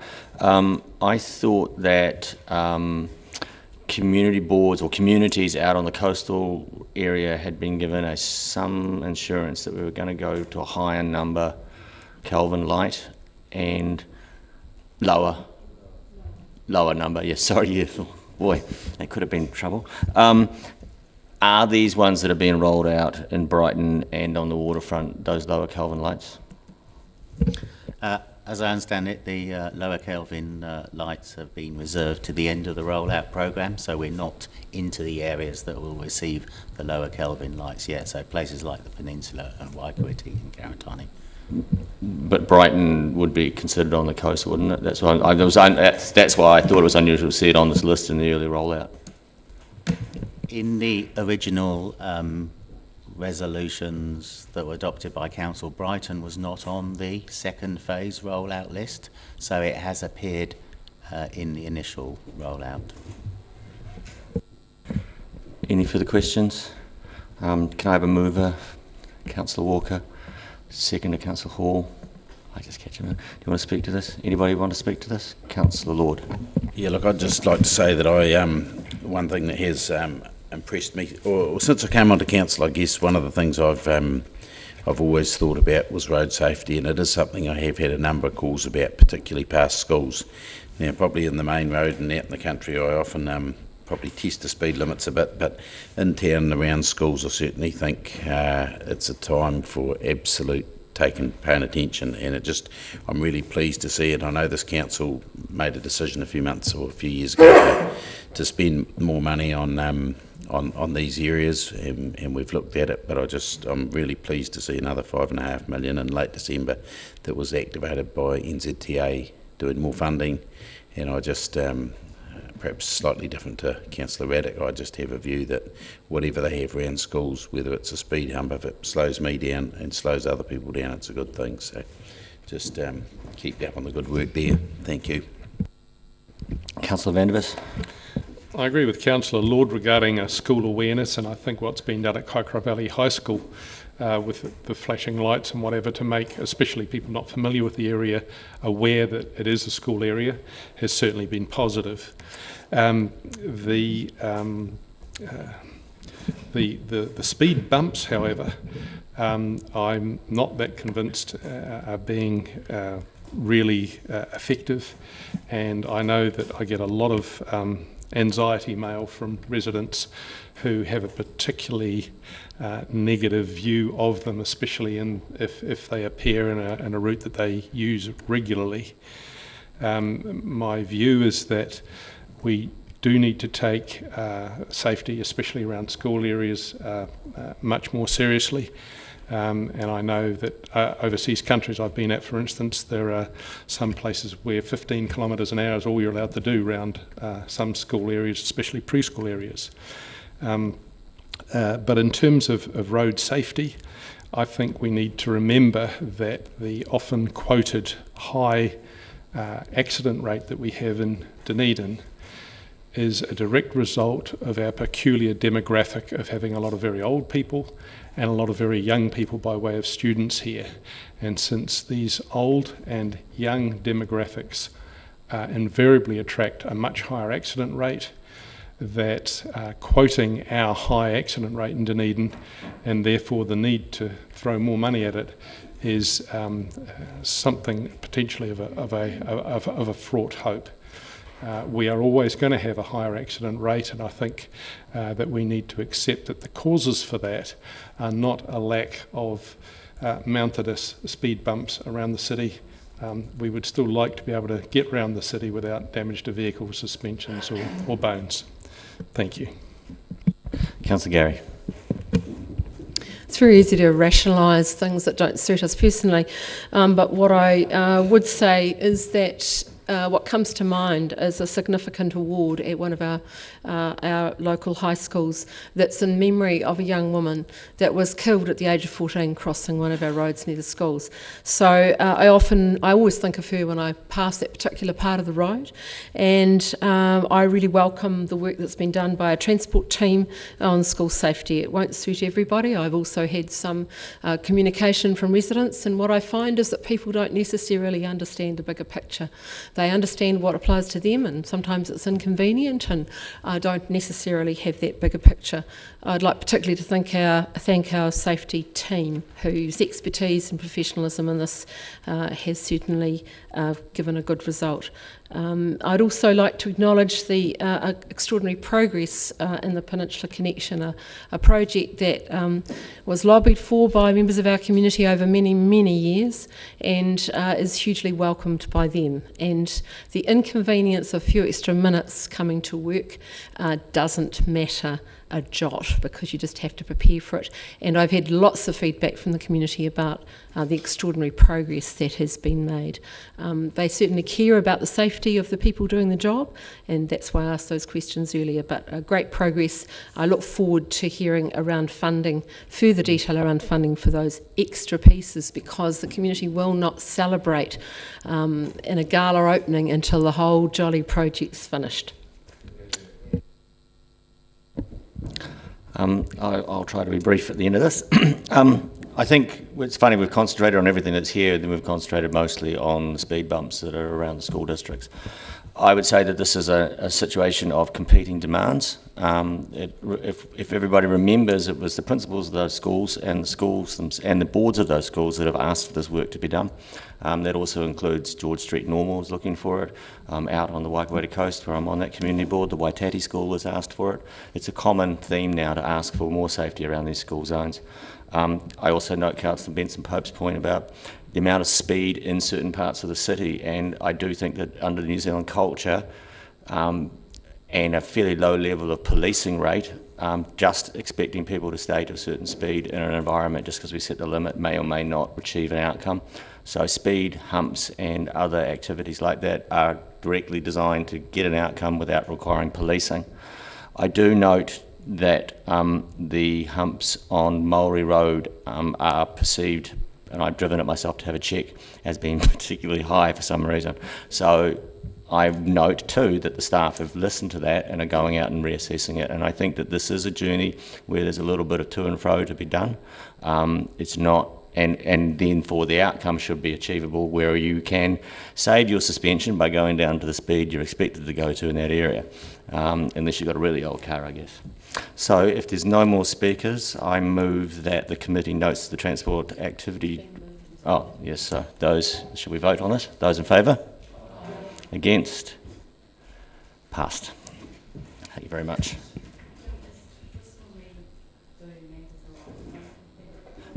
Oh, right at the very end, I'll ask for matters arising.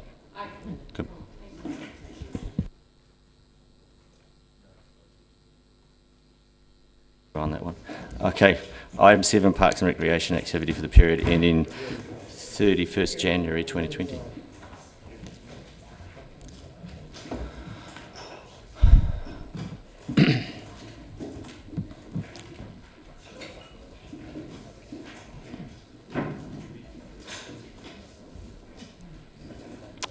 Ms Graham, Mr West, welcome.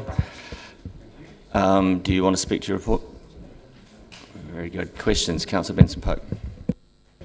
Thank you, Mr Chairman. I wonder if uh, in paragraph 2b, the Hamlet paragraph, um, I wonder if someone could explain to me why predator-free Dunedin has got an acronym um, that's PDF, or is that bureaucratic dyslexia at work?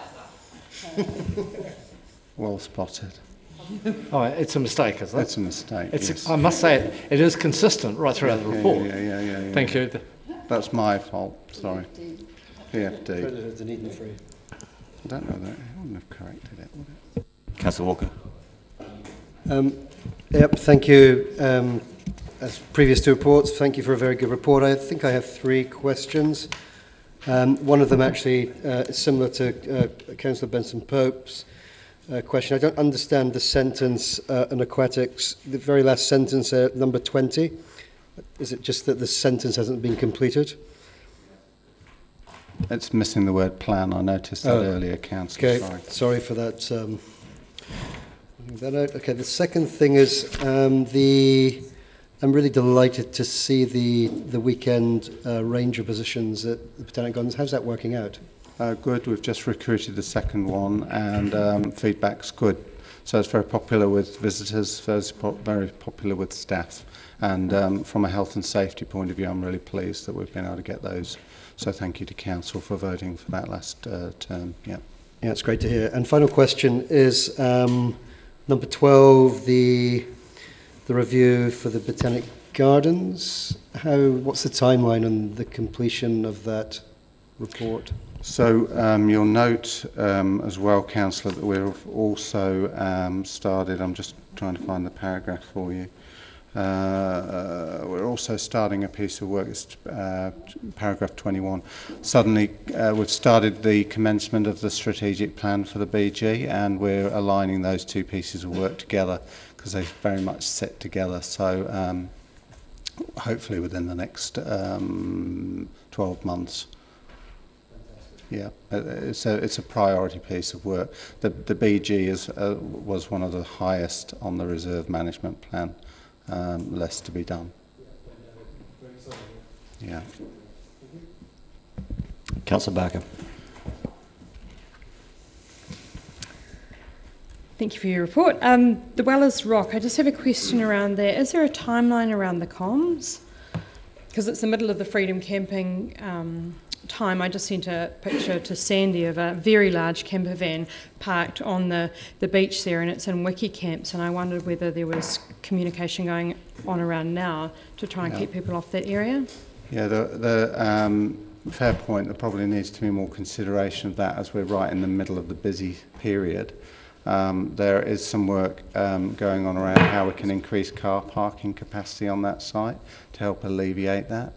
Um, and there was some discussion about whether they hold off all the work until we did the whole package. But it was felt that um, Runanga and the community board felt that we needed to make progress. So we've kind of um, uh, we're, we're, it's a work in progress is the, is the result that we're seeing. So, um, but we're getting some, again, we're getting some good feedback, um, but obviously it's causing some uh, issues for us as well at this, at this point in the season. Councillor Garey. Well, thanks for a very full report, Mr West. I have a, a question about um, Te Umu Kuri, uh, Wellers Rock, and of course the Runanga's been concerned about this for a very long time. Are they happy with, uh, you possibly answered it somewhat, are they happy with where it's got to now and the plans in the long term? Yeah, so they've been part of the working group that's been working on this right from the beginning. Um, and they've been really happy with the proposed solution, which the rocks are uh, obviously a more natural sort of um, piece of work that we can put in there, and and of course removable if we need to as well in the future. But they're, uh, they've also been working with us on the looking at the car parking capacity, so they are pretty pleased. Um, they would like to see um, those vehicles stop using that Mm. site as soon as possible. But they've been very They've supportive. been very patient. And they were out there when we were putting the rocks out um, a couple of weeks ago. Great, thank you. And um, Taironi, um, wonderful progress on the resource consent application being lodged by ORC, but I was wondering if you know when are the uh, hearings on the consent? Do you have any knowledge no, of that I, at all? I'm afraid I don't, don't have that Okay, yet. thank you. Councillor Elder. Thank you for your report, and it's great to see the audits coming along and um, the planning coming along. Um, I have a couple of questions. In the tracks planning, um, I use the tracks a lot, and a lot, a lot of them have parking places, for example, at the bottom of Nichols, where they're overloaded. Is that part of the plan? Is around enabling um, parking so people can access those tracks? Um, that's a good point. Um, I need to. I'll need to follow up on that. I don't think I, I want to answer that without having a little bit more of a question of the project lead. Um, but it is a really good point. Uh, certainly, for some of the tracks that we've been looking at, we're aware that there are significant issues. But are we looking at it consistently as part of the work Yeah. programme? I'm not sure, so I need to come back to you on that. Because that enables not just domestic people but also um, tourists. Um, Yeah. I went up to Nichols Creek the other day and um, this guy had a mountain bike on the back of his vehicle and he was lost. He didn't know where it was. And um, so is also signage part of the package because Yep, lots of people don't know where the tracks are. Yeah, signage is critical, um, and we're um, we're working with comms and marketing and DOC on on that. It's it's quite complicated. It is. um, but we we are it's a core part of that project. Yes. Oh, cool. Thank you. Um, the and thanks for all the work being done in that area. Um, I see act, sports and active recreation um, project, and I note that I went to a sports um, review of, of, of people being involved in score, sports, and um, in their report, um, they said informal play opportunities and outdoor recreation was a bigger emphasis for the whole community, but particularly for over 13s where people um, drop off being involved in any sport. Yeah. Um, is there any um, thought to having with the project team, you've got DCC, PARS, event Star, Sport Otago, etc., of having DOC in there or some outdoor recreation group in, th- in that? So, so DOC will be one of the stakeholders when Oh, we get cool. work. Uh, the, the, the first project meeting of that group was this morning. Um, so um, DOC will certainly be a key stakeholder. Um, but we're really keen, I was really keen to look at um, having a, a, a primary healthcare um, Yes. uh, input there because uh, we are really keen that to not just focus on sports codes but on activity and physical activity. And, and noting that our um, overarching body in New Zealand is, is pointing that direction as well. Yeah, well, when, when uh, we're presenting to community and culture tomorrow on the playground piece of work, and you'll see that um, some of the concerns around the activity drop off at aged uh, 13 um, is uh, reflected in some of the playground work. So um, that aligns very clearly with the Sport Otago findings and where they're putting their um, emphasis for the coming years. Yes, and the na- national body is emphasising that. Hopefully, funding goes with it. Yeah. Thank you, and thanks for your, all your work in that area. Councillor Benson Pope. Thank you. In paragraph 13, um, you talk about beaches, Tomahawk and um, Long Beach in particular. I think we're all familiar with the educational and um, uh, the educational methods you're using to encourage compliance with the bylaw. Um, more tomorrow, of course, um, but I'm wondering if you've actually carried out the have have there been any um, customers, sorry, residents, drivers fined for breaching the bylaw, or are they still receiving the please don't letter? please don't let her at this stage. Um, um, what's pleasing, I think, out of all the letters we've sent out, Councillor, only one um, one person has been spotted again on a beach. Now, I, either that's because they've been on beaches and we haven't had the rangers or security or nobody's informed on them, um, or um, it's the message is getting through. So um, it's hard to pick that, but only one out of the um, letters that have been sent through thus far uh, have had a re- repeat. Yeah, I think uh, what you're doing is commendable, and so you know, Yeah. um, that's fine. Thank you very much. I mean, ob- obviously, as we move into next season, we'll keep monitoring it. If we continue to see an issue, we, we may move. But I'm very keen to look at a gradual step-by-step approach and, and continue to appeal to people's, um, you know, inform them what we're trying to do and why we're trying to do it uh, as a first step. Thank you. Councillor Radich. Thank you for a comprehensive report. I just have a question about the freedom camping, because we recently had a complaint about numbers uh, on one particular site, and I have heard from constituents about numbers on other sites as well, where certain sites are getting overloaded. Do we firstly monitor those numbers, and do we post signage limiting numbers in any uh, on, at the sites? And, and thirdly, do we have any kind of policing or enforcement or notification, you know, verbal notification or any other mechanism to control numbers on those sites? Right. There's a few questions in there, so Three, if I, yes. if I forget a few, um, come back at me. Um, so um, we do monitor all sites. So and where we get um, notifications from the public uh, into our customer services agency, as we did this morning, because we've had a very bit very busy weekend this weekend. Mm. Uh, Waitangi weekend is one of our busiest weekends for freedom camping. Um, and plus, we've had a few other factors on our plate in the city, so it's all compiled, um, which is positive, uh, hopefully, to, for the economy of the city. Um, so, if people ring in to CSA, Community Services Agency, we will ask specifically for um, security and rangers to target those areas um, for a period of time to, until we try to bring it back in, into control. Um, do we have the capacity to limit numbers on certain sites?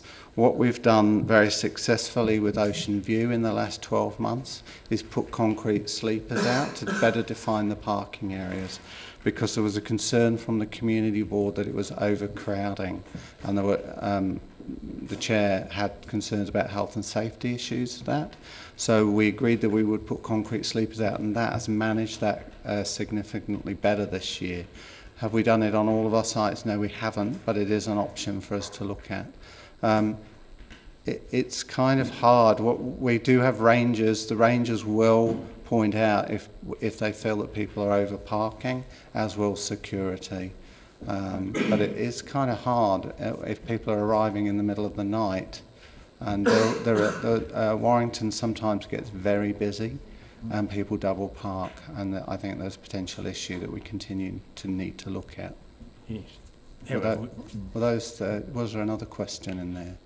Well, do we have an, uh, a limitation on numbers and a sign to that effect at various sites? By, by, I mean, Ocean View, a great example. If we put, uh, now we've got the concrete sleepers, it makes it really clear how many there are. Um, and once they're full, they're full. The other thing that we're using this year, and again, we trialled it with Ocean View, is um, we have an app. Um, I, I think it's a Campermate app.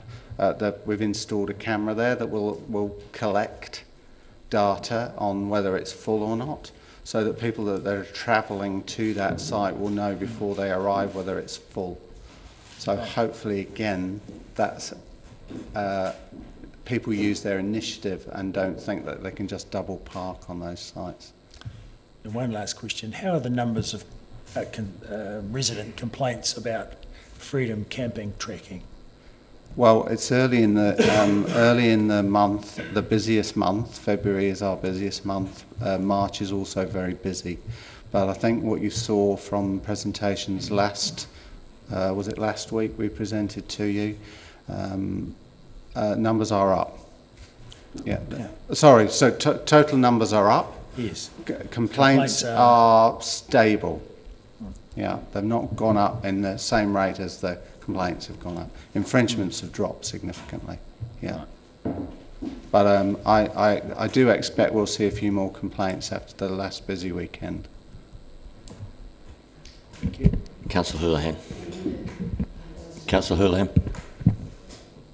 Thank you, Chair, and thank you for the report. Um, I just had a question that which was sort of raised, touched on slightly before around well-being. I was at a presentation a wee while ago that some of us other councillors were there as well, where um, New Zealand Sport um, CEO spoke about how they were able to get more funding because they'd focused on well-being and because the government at the moment has goals, you know, to increase the well-being and of, of course the well-being budget.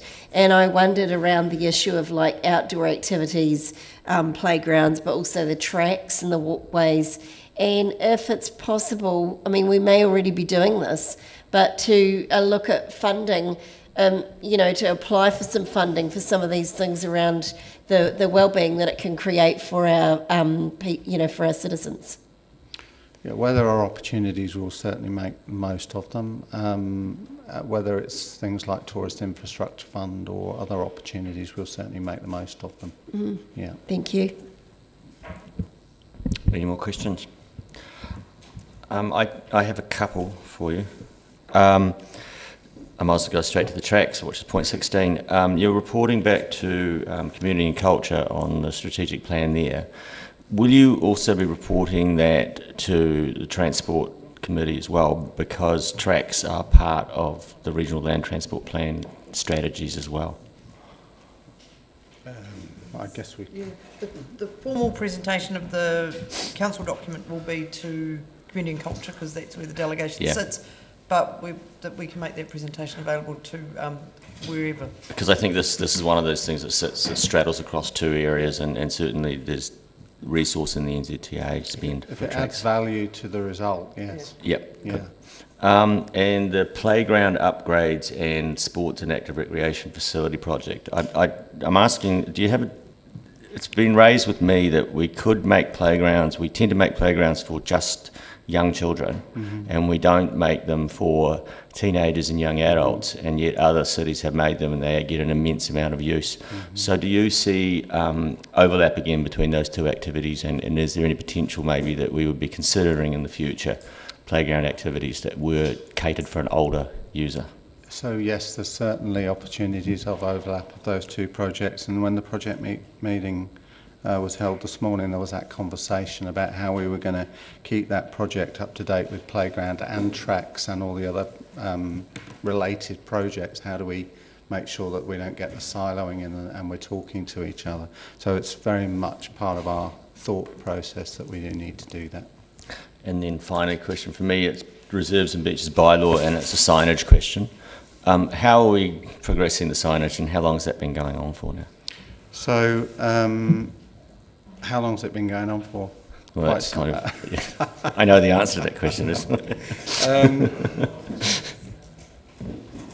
so we're making good progress, I think, but it is it isn't easy. I have to say, signage um, as a novice going in and then getting involved in, in signage issues is quite fascinating, given the length and the types, the, the different types and the different organisations that are involved in signage has made it quite challenging. However, uh, what we've been able to do is work very effectively with DOC and other organisations to start to agree some standardisation so that we can declutter some of our spaces and have clearer signage. Um, it's a work in progress, Councillor, that's for sure. Um, but I do think we are making progress um, and we've, uh, we've received some positive feedback. That's, that's nice to know.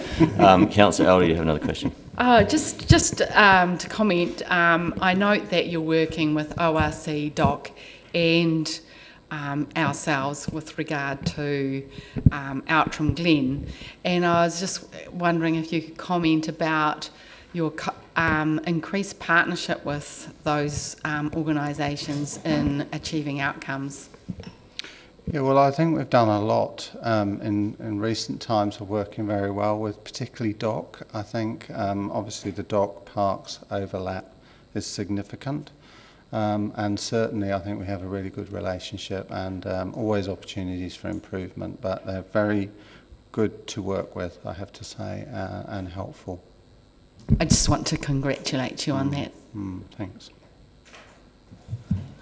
Being no more questions, may I have someone move that with the committee notes the Parks and Recreation Activity Report for the period ending 31st of January 2020?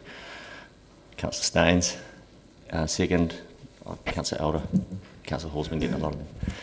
Okay, any, do you want to speak to it, Councillor Staynes? Anybody wish to speak?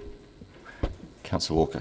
Yeah, just very briefly. Um, th- thank you once again, and I certainly don't envy your um, your signage engagement, rather you than me, Mr. West.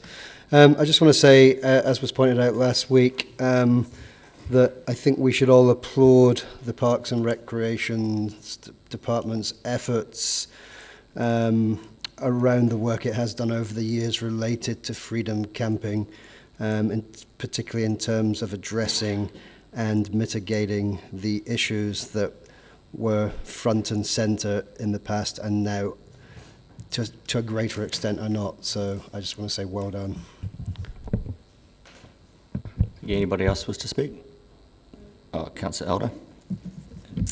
I just want to um, congratulate you on that um, partnership with DOC and also um, at updating and, au- and, and the audit process so that we know where we're at and where we need to go and, uh, and for your vision in that space. So thank you for that. I think outdoor recreation and, and sport is a huge part of um, keeping our people healthy and well both physically and mentally. And um, I look forward to further the reports coming up.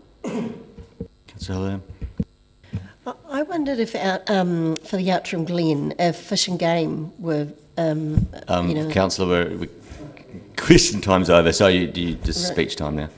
Right. That'd be quite good to talk to, maybe. Yes, thank you. Anybody else wish to speak? If I put it, those in favour? Those against?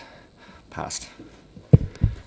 Now, item eight, Waste and Environmental Solutions Activity Report for the two quarters ending December 31st, 2019. Mr Henderson.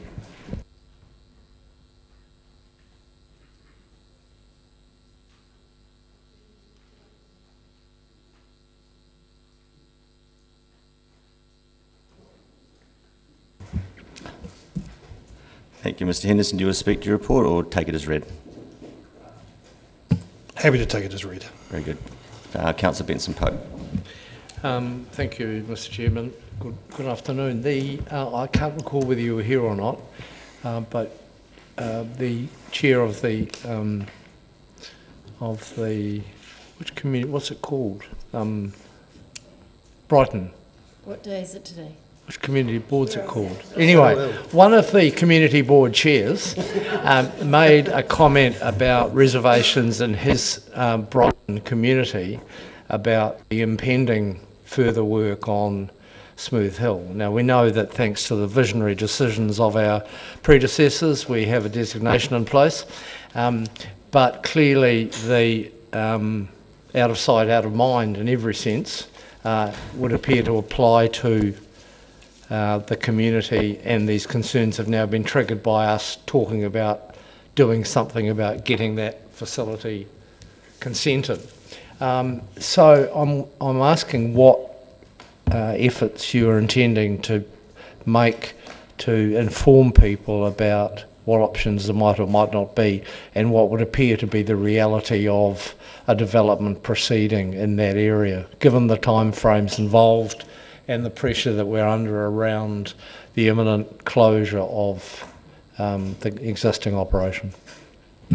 Uh, okay, see, I've um, initially when we kicked off the project, I went to both the Saddle Hill Community Board and Mosgiel Taieri and explained uh, what we were doing, what we were looking at. Um, I'm visiting them again uh, in the near future to explain where we're up to, uh, including the fact that the the site is already consented. Uh, oh, sorry, not consented. It's Designated. not consented. It's designated uh, as a landfill site, so that that uh, process has already occurred. Um, however, the, cons- the cons- um, consenting process will be publicly notified, so there will be uh, ability for people to provide feedback, uh, etc., during that process. Okay. Um, the the original process that resulted in the designation of Smooth Hill took at least five years. So any, I would assume any investigation of any other site, if we were to start again now from scratch, we would anticipate it would take at least five years investigation to come up with a, an alternative site. Um, as you're aware, we do not that, have that time. Thank you. In terms of, I mean, I think it's good to know that you're visiting the community boards. Um, are you um, planning to rely on them to disseminate the sort of content of the, those discussions, or are you considering doing that in addition to however they may communicate with their community directly? Uh, I don't. There's no intention to actually, if you're talking about going out to the into the communities themselves, uh, not until we're actually in the consenting process. Um, there's a fine line between uh, giving the impression that we're impression that we're consulting on the site as opposed to actually informing people of the site. So we will be um, talking directly with residents, etc., during the consenting process, but not prior to that. Okay, thank you. Councillor Lord.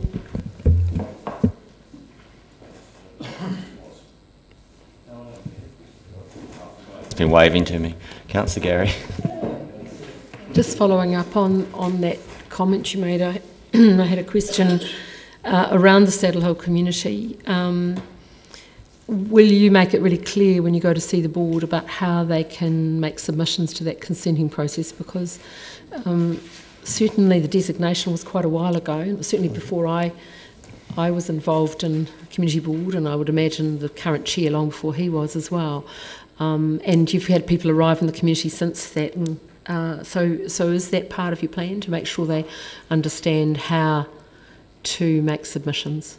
Uh, well, yeah, the, the obviously the consenting that consenting process isn't run by DCC as such. There is well, is some DCC consenting consents required. Yeah. Primarily, that process will be via the ORC, which Of will course, publicly notify, etc. So I'll, I'll make sure that they understand Sure. uh, that process.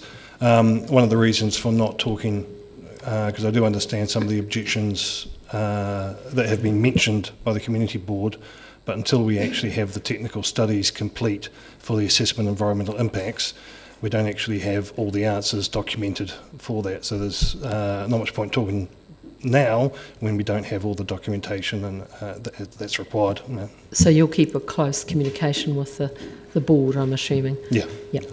Um, my second question was around the sustainable living in the community workshops. Um, I recall some years ago now, uh, very enlightened, DCC ran some wonderful courses. Dr. Maureen Howard ran the courses, and it was had a behavioural psychology base. Um, do you anticipate, because it's about changing behaviours, that that will be the kind of approach through these courses you're thinking of, workshops you're thinking of running? Uh, so those courses have continued. Um, there was a, a bit of a break there, but they are, um, those community-based, the, the waste-free parenting, sustainable living, uh, love food, hate waste, um, we're making those more readily available and working through community groups as well. So some of the tickets that we give for those are actually given away free via Presbyterian Support, those sort of organisations. Um, and yeah, they, they are about behaviour change. Um, we definitely continue and hoping to roll out uh, more programs in the future as well. That's good news because they're really good quality. And finally, uh, 30, uh, item 30, which is around the um, curbside waste and recycling collection. Um, can you just remind us uh, of the first available opportunity to implement whatever option council decides to pursue after community engagement? Um, because I think for the community there's a lot of why can't we do it now um, feeling, and you've probably felt that considerably. Can you just remind us about the first opportunity to implement anything that's decided Uh, upon?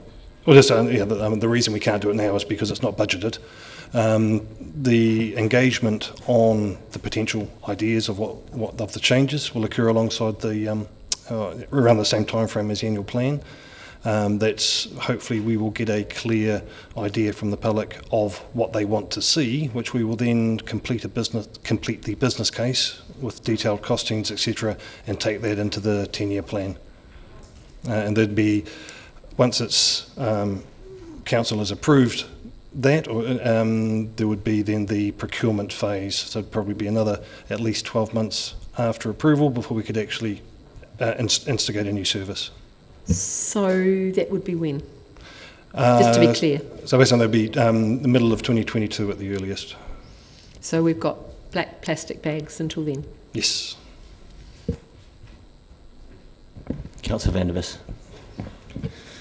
On page 41, paragraph 2, we've got uh, highlighted successful increased diversion of material.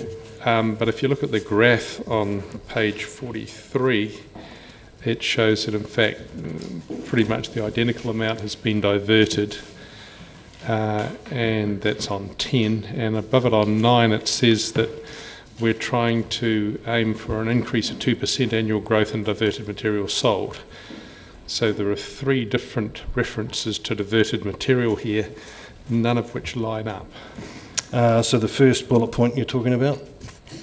Uh, Under the highlights? Under two, highlight. Yeah, so that's- uh, increased diversion. Yeah, so that's the talking about waste management. So that's not curbside. That is just at the Green Island landfill, with putting in additional opportunities for people to divert when they actually go to the transfer station. Oh, this is basically bits of furniture that need to be reused or something. Yeah, but steel, furniture, glass, Okay. that kind of stuff. Um, giving them an opportunity to actually divert that, even up to just before they put it in the pit at the transfer station. Okay, Um, but that doesn't show on the recycling No, diversion that- graph in 10. So that graph there is about the, the sold material um, going through OJ, through the collect, material collected by EnviroWaste and um, processed by OJI Fibre Solutions. So we're not actually diverting any more of the sold material? Uh, that's, though that, that graph just re- relates to the curbside. What does number nine above that uh, saying that we should be uh, having more than a 2% annual growth in diverted material sold? Yeah, so that's a, an old measure that's been in place for quite some time, unfortunately, uh, which will hopefully be changing in this 10-year plan. But that measure is simply saying that every year we sell an extra 2% on what we did the year before of recycled material. But that's not been something that we can do. No, that is, it, well, originally um, that was occurring, but it's remained steady for quite some time now. So that, that 2% target has not been achieved. Uh, So- last, it was achieved the year, eh, sorry, I tell a lie. It was achieved, wasn't achieved last financial year, but it was achieved the financial year before that. So is the intention then to change the target or, or as you suggested just now, or because it's an old target, or to do something different regarding the diversion? Uh, so in, we're actually we're on to current current matters at the moment. The um, goals of the proposed WMMP uh, that uh, is coming to um, forget the name of the committee tomorrow. Uh, we're proposing three definitive targets in there. Um, that one there is basically just around material sold. It doesn't actually talk about uh, increased diversion or reduced carbon impact or anything else like that. So that is quite outdated now. So we're proposing new measures. Yeah. So you're saying you don't anticipate there'll be an increase in sold material in the, in the foreseeable future? Uh, not without a change to our curbside collection program and uh, and the facilities we provide. Thank you. Councillor Walker. Um, thank you, Mr. Henderson, for um, what was a really, really robust and interesting report, actually. And little did I know when I ran for council that I'd be so inspired by a report on waste. Um, forgive me if I'm wrong, because I may have passed it by, but in this fantastic report, I didn't uh, see any mention of cigarette butts. And as you probably are aware, in all um, in all waste audits, I think cigarette butts come out number one as the most found item, and of course they have um, extremely detrimental effects on our wildlife and the wider environment. Um, are you aware uh, if, if council has any initiatives moving forward to address the question of cigarette butts? Yep, thank you. Just so you know, um, uh, Mr. Pickford's working and he heads Simon Pickford, the regulatory area, and there's some work going on with the Smoke Free Group, Public Health South, about what we might do uh, in various parts of the city around being smoke free. So that work's underway. They wrote to us recently, and Simon came back and said, "Yep, we're we're exploring our options here. It's something that we'd like to to look at as well." So smoke free, then by definition, means you also deal with the butts issue. Um, I guess one of the I've asked this question primarily because in Port Chalmers we have a significant issue with cigarette butts, and of course related to people coming from other from other countries. So I don't see how the smoke free would address that issue. So I was wondering if there's anything be above and beyond that that may be in the wind. Are you actually talking about a litter issue in the in the streets from the cigarette butts, or yeah, um, it's sort of a, a nasty crossover because we do uh, most of the rubbish bins, not all by a long stretch of the imagination, but a large number of rubbish bins do have uh, the facility for putting out your butt and sticking them in a. Um, but apart from actually having some resources to uh, monitor, the problem actually then it tends to become transport problems because it becomes a street cleaning problem as opposed to a, uh, a litter problem. So if people do not use the facilities provided without monitoring and enforcement, there's not a lot we can do about it. It's often the situation where something moves from one department to another depending on where it landed. Councillor Elder. I suppose lots of departments would like then for things to be thrown in the gutter and become someone else's problem. um, just um, talking about budgets and the, the imminency of um, needing to um, get Smooth Hill up and running. Um, is there enough in the budget for the work to be scoped and the staffing to actually activate that in a timely manner? Uh, or so- do we need more?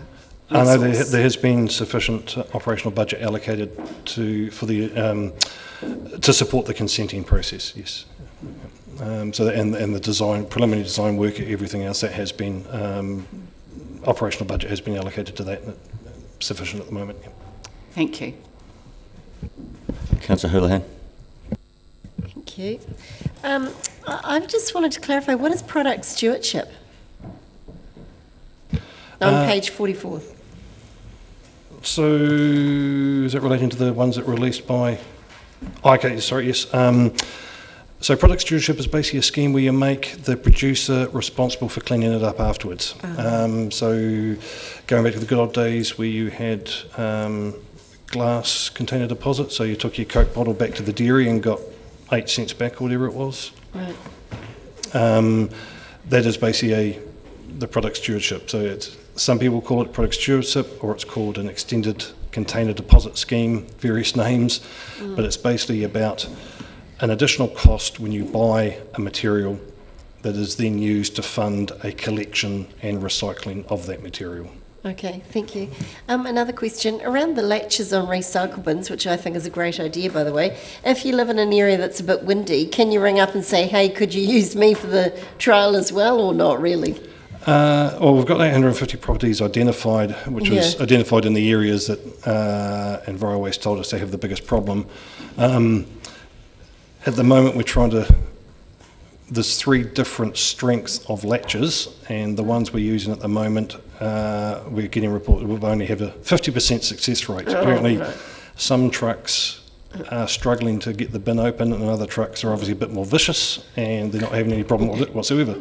um, so we're looking like we need to go back and uh, try a different strength of latch. But the idea would be that yeah, um, that would become standard fitment once we get once we get ones that work well. Right, yes, great idea.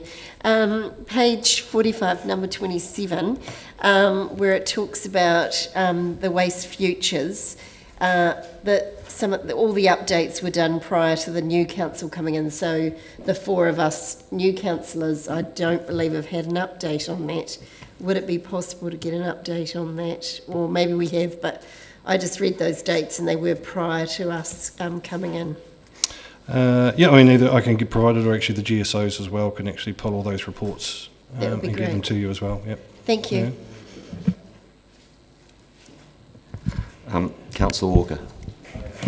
Uh, so, sorry, I had another question. I just got slightly um, thrown off course by the rather gloomy response to my butt question. Okay. Um, it was quest. Uh, it was item four, uh, the second bullet point, just at the end, where, and I think we've alluded to this in some of the workshops, um, uh, where we talk about material recovery centre for sorting and transportation to recycling markets. Um, what are those markets and are they sustainable moving forward in the context of the fact that so many other parts of the world now, quite rightly, are not prepared to take crap? Uh, well, the markets are sustainable if you can meet the contamination targets. Um, so obviously China has brought in quite strict standards. Malaysia is following suit. India is following suit. Um, so yes, you can continue to sell material overseas if you can meet the um, the contamination criteria, which in a lot of cases now is less than one percent. Um, that's not easy, and we're struggling. Uh, but with sufficient um, investment in improved recovery facilities, you would be able to meet those targets without, uh, you know, regularly. Yeah. So you say the requirement is 1% contamination. What, do you know what we're at? Uh, well, that's that's after sorting. So, unfortunately, what is happening is more of more recycling is actually ending up in landfill because of those contamination requirements. Um, so the sorting facility has been a lot stricter on what they will accept and what they will not. Um, so, yeah, our contamination contamination rate at curbside sometimes varies between eight to eleven percent, uh, depending on the month. So quite a bit of that contaminated material is then uh, rejected by the sorting facility to get it down to the 1%. Councillor Barker. I have um, three questions. First of all, uh, just about public awareness of where people can get things recycled, etc. What happens to polystyrene? Is there an opportunity to get rid of that? Not in Dunedin at the moment. We we don't have a facility down here. That's something I'm um, talking to Waste Management about trying to introduce. Uh, it is available further north, Oamaru, uh, sorry, not Oamaru, Timaru and, and uh, Christchurch have that ability, but we don't down here at this point, no. Uh, my second question, number um, 24, was about battery recycling. I wasn't aware, maybe I'm ignorant, about that you could take your batteries out to the um, Green Island rummage store. Is that correct? How does that work? People just take their batteries out there? Uh, yes, so we've used um, some of the waste levy funding that we received from central government, obviously, which is paid at the landfill gate fees. Uh, we subsidise quite a bit of e-waste, electronic recycling. Um, things like batteries, you know, you've got a double A battery or a triple A battery, and no one sees why they should have to pay Mhm. uh, to recycle that. Um, and also, we found that the price point of $40 for a TV uh, for recycling was far too high. So when we reduced those rates by subsidising them, because all our electronic waste goes to Cargill Enterprises, when we started subsidising our rates for recovery of that stuff has increased dramatically. Um, with the batteries, it's hard to have the collection points. With um, talking to uh, supermarkets, etc., about having collection points, but there is a, a fire danger, especially with lithium batteries. So Yeah. it does become problematic. It's just about public awareness. You have that, those wonderful things about what you should put in your, in your um, recycling bin, etc. But just batteries is always, I've got a wee stockpile at home, that's why I ask. And my other question was around number 25, which is the bike refurbishment program, which I think is amazing. Uh, what's the limitation on the amount of um, bikes able to be refurbished? Uh, Just as the number of bikes dropped off to rummage still exceeds the amount able to be refurbished, and I wonder what was the. Um, Basically, it's the um, it's the resources available to the trust. Um, they have to have someone who's actually um, certified as able to sign off the bike has been safe, etc.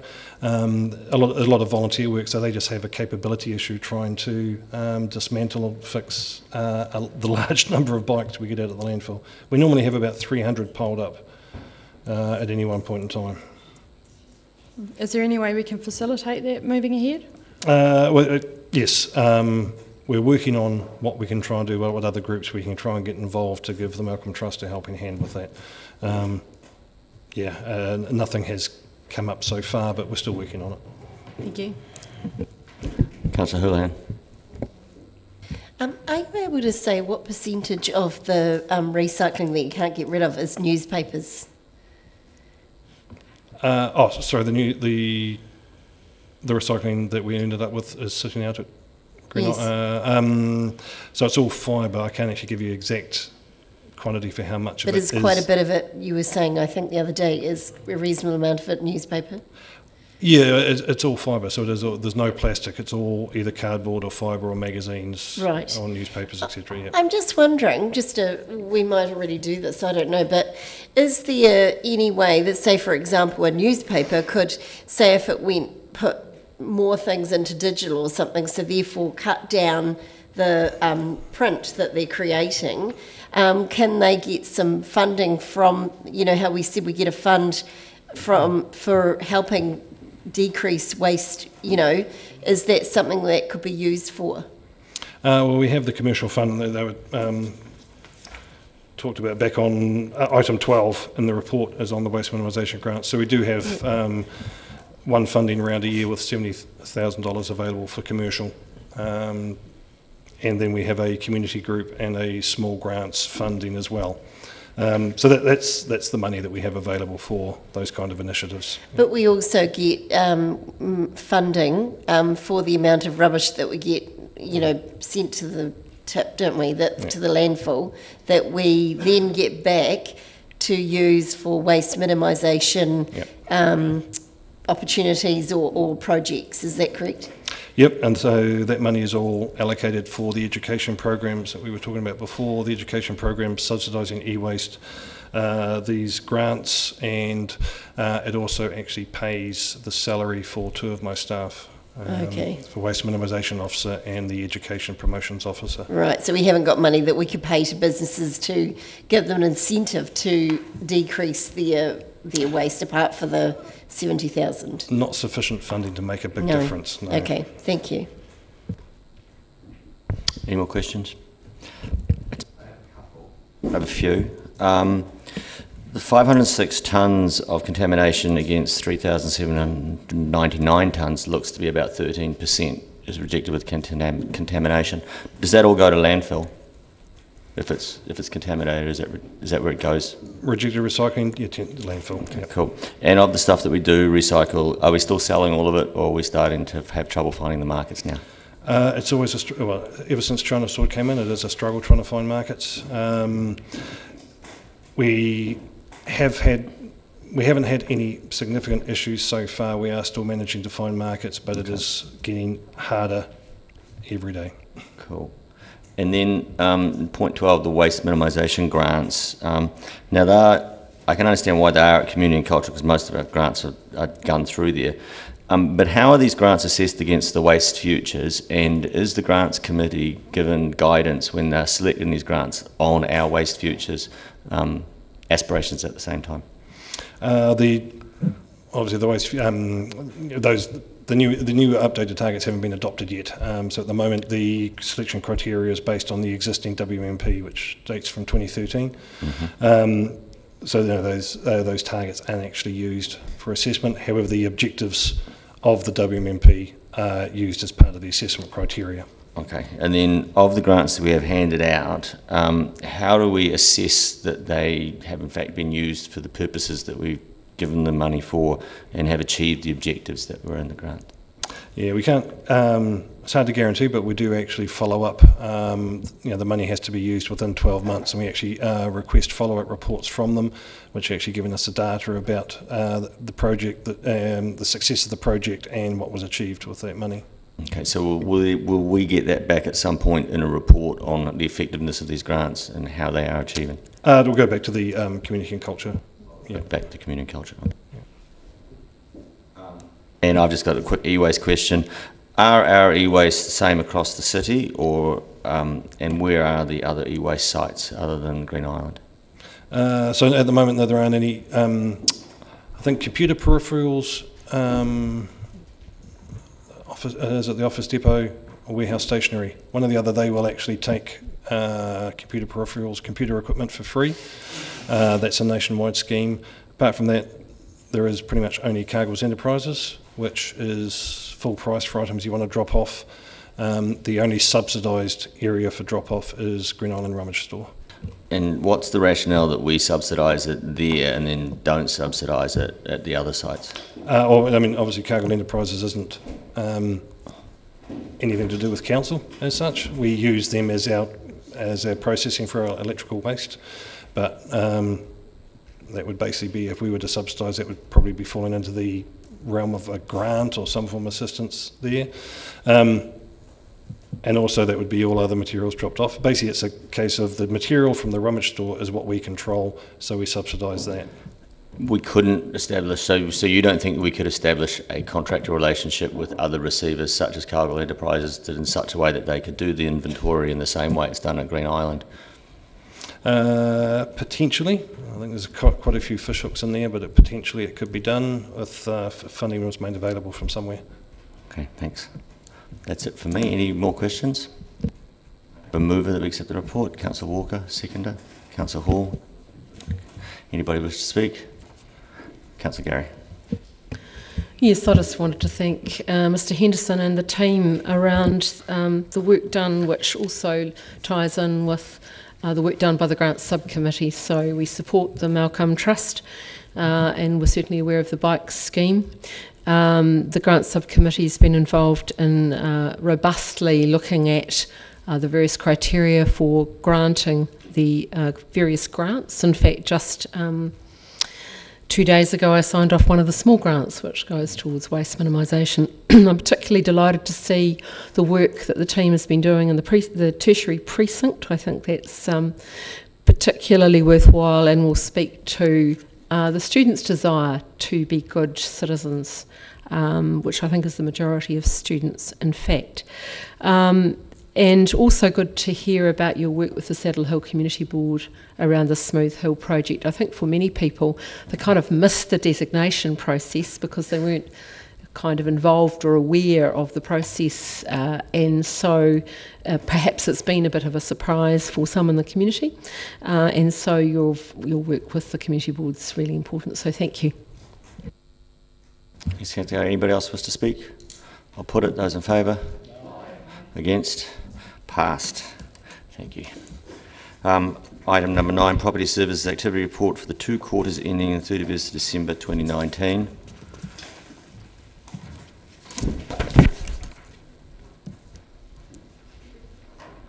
Mr. Bainbridge Zafar has got married and changed his name. Welcome. Do you wish to speak to the report at all, or just ask, take it as read? Any questions? Councillor Vandervis. In the executive summary part 2B, you talk about Wall Street management now being outsourced to Colliers International. Um, has there been a consequent reduction in property services staff numbers, given that this used to take a lot of staff uh, members' time? No, but it's allowed us to realign the staff's priorities to other properties. So the full-time work that was required for this particular um, job, uh, plus some other work, is just been realigned. The full-time role that was uh, that did exist in property services structure was disestablished a number of years ago. Since then, Wall Street Mall has been lumped in with all of our other commercial investment properties and managed by a single person. Okay. Um, community housing, Palmyra, there was an issue a year or so ago with some of the units not meeting the new government standards for insulation. Have they now all been caught up on and are they all tenanted?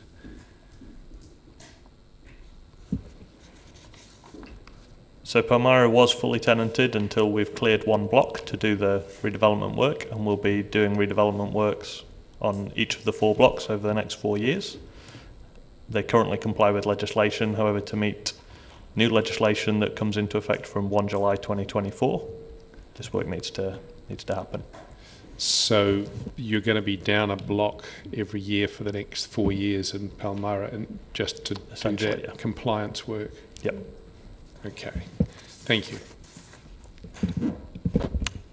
I just have one question. Could you just give us a quick update on the South Dunedin Library and Community Complex work, how that's going? Uh, yeah, the co-design process is, has got underway. Um, there is, uh, or there was a million dollars uh, in this year's budgets to to start doing that design process.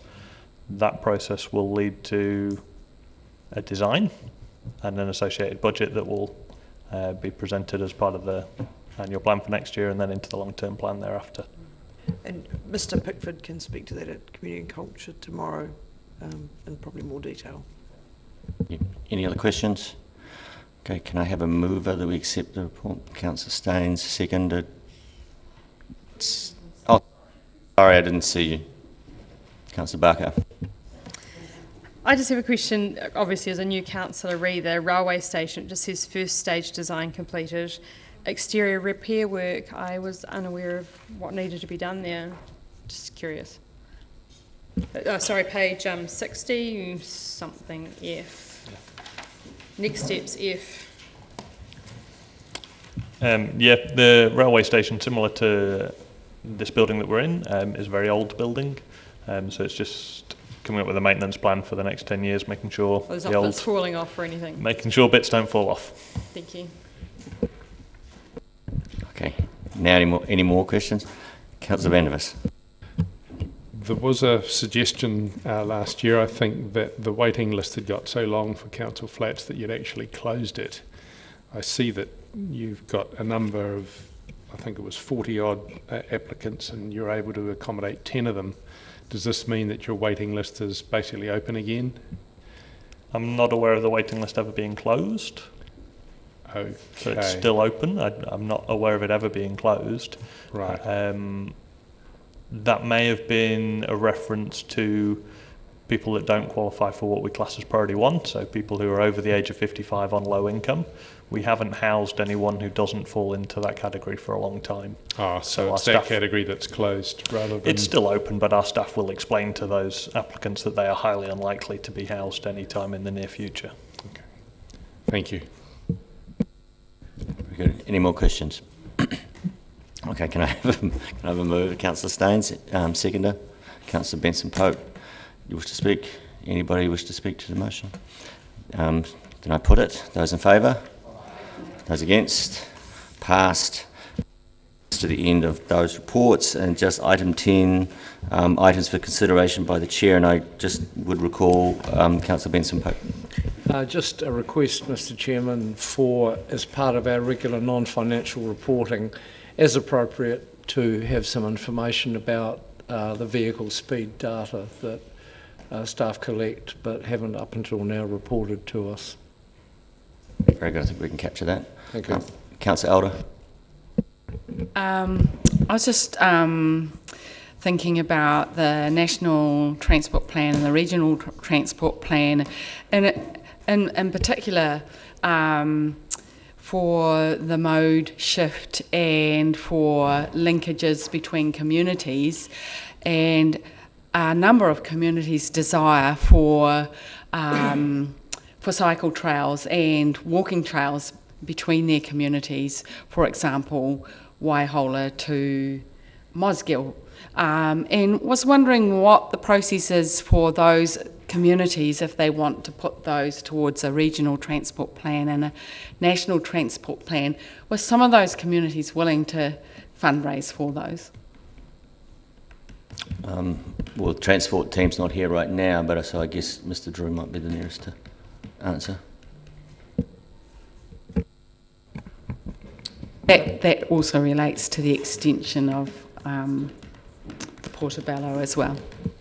So is the question about how does the community get involved or how, how does transport? Uh,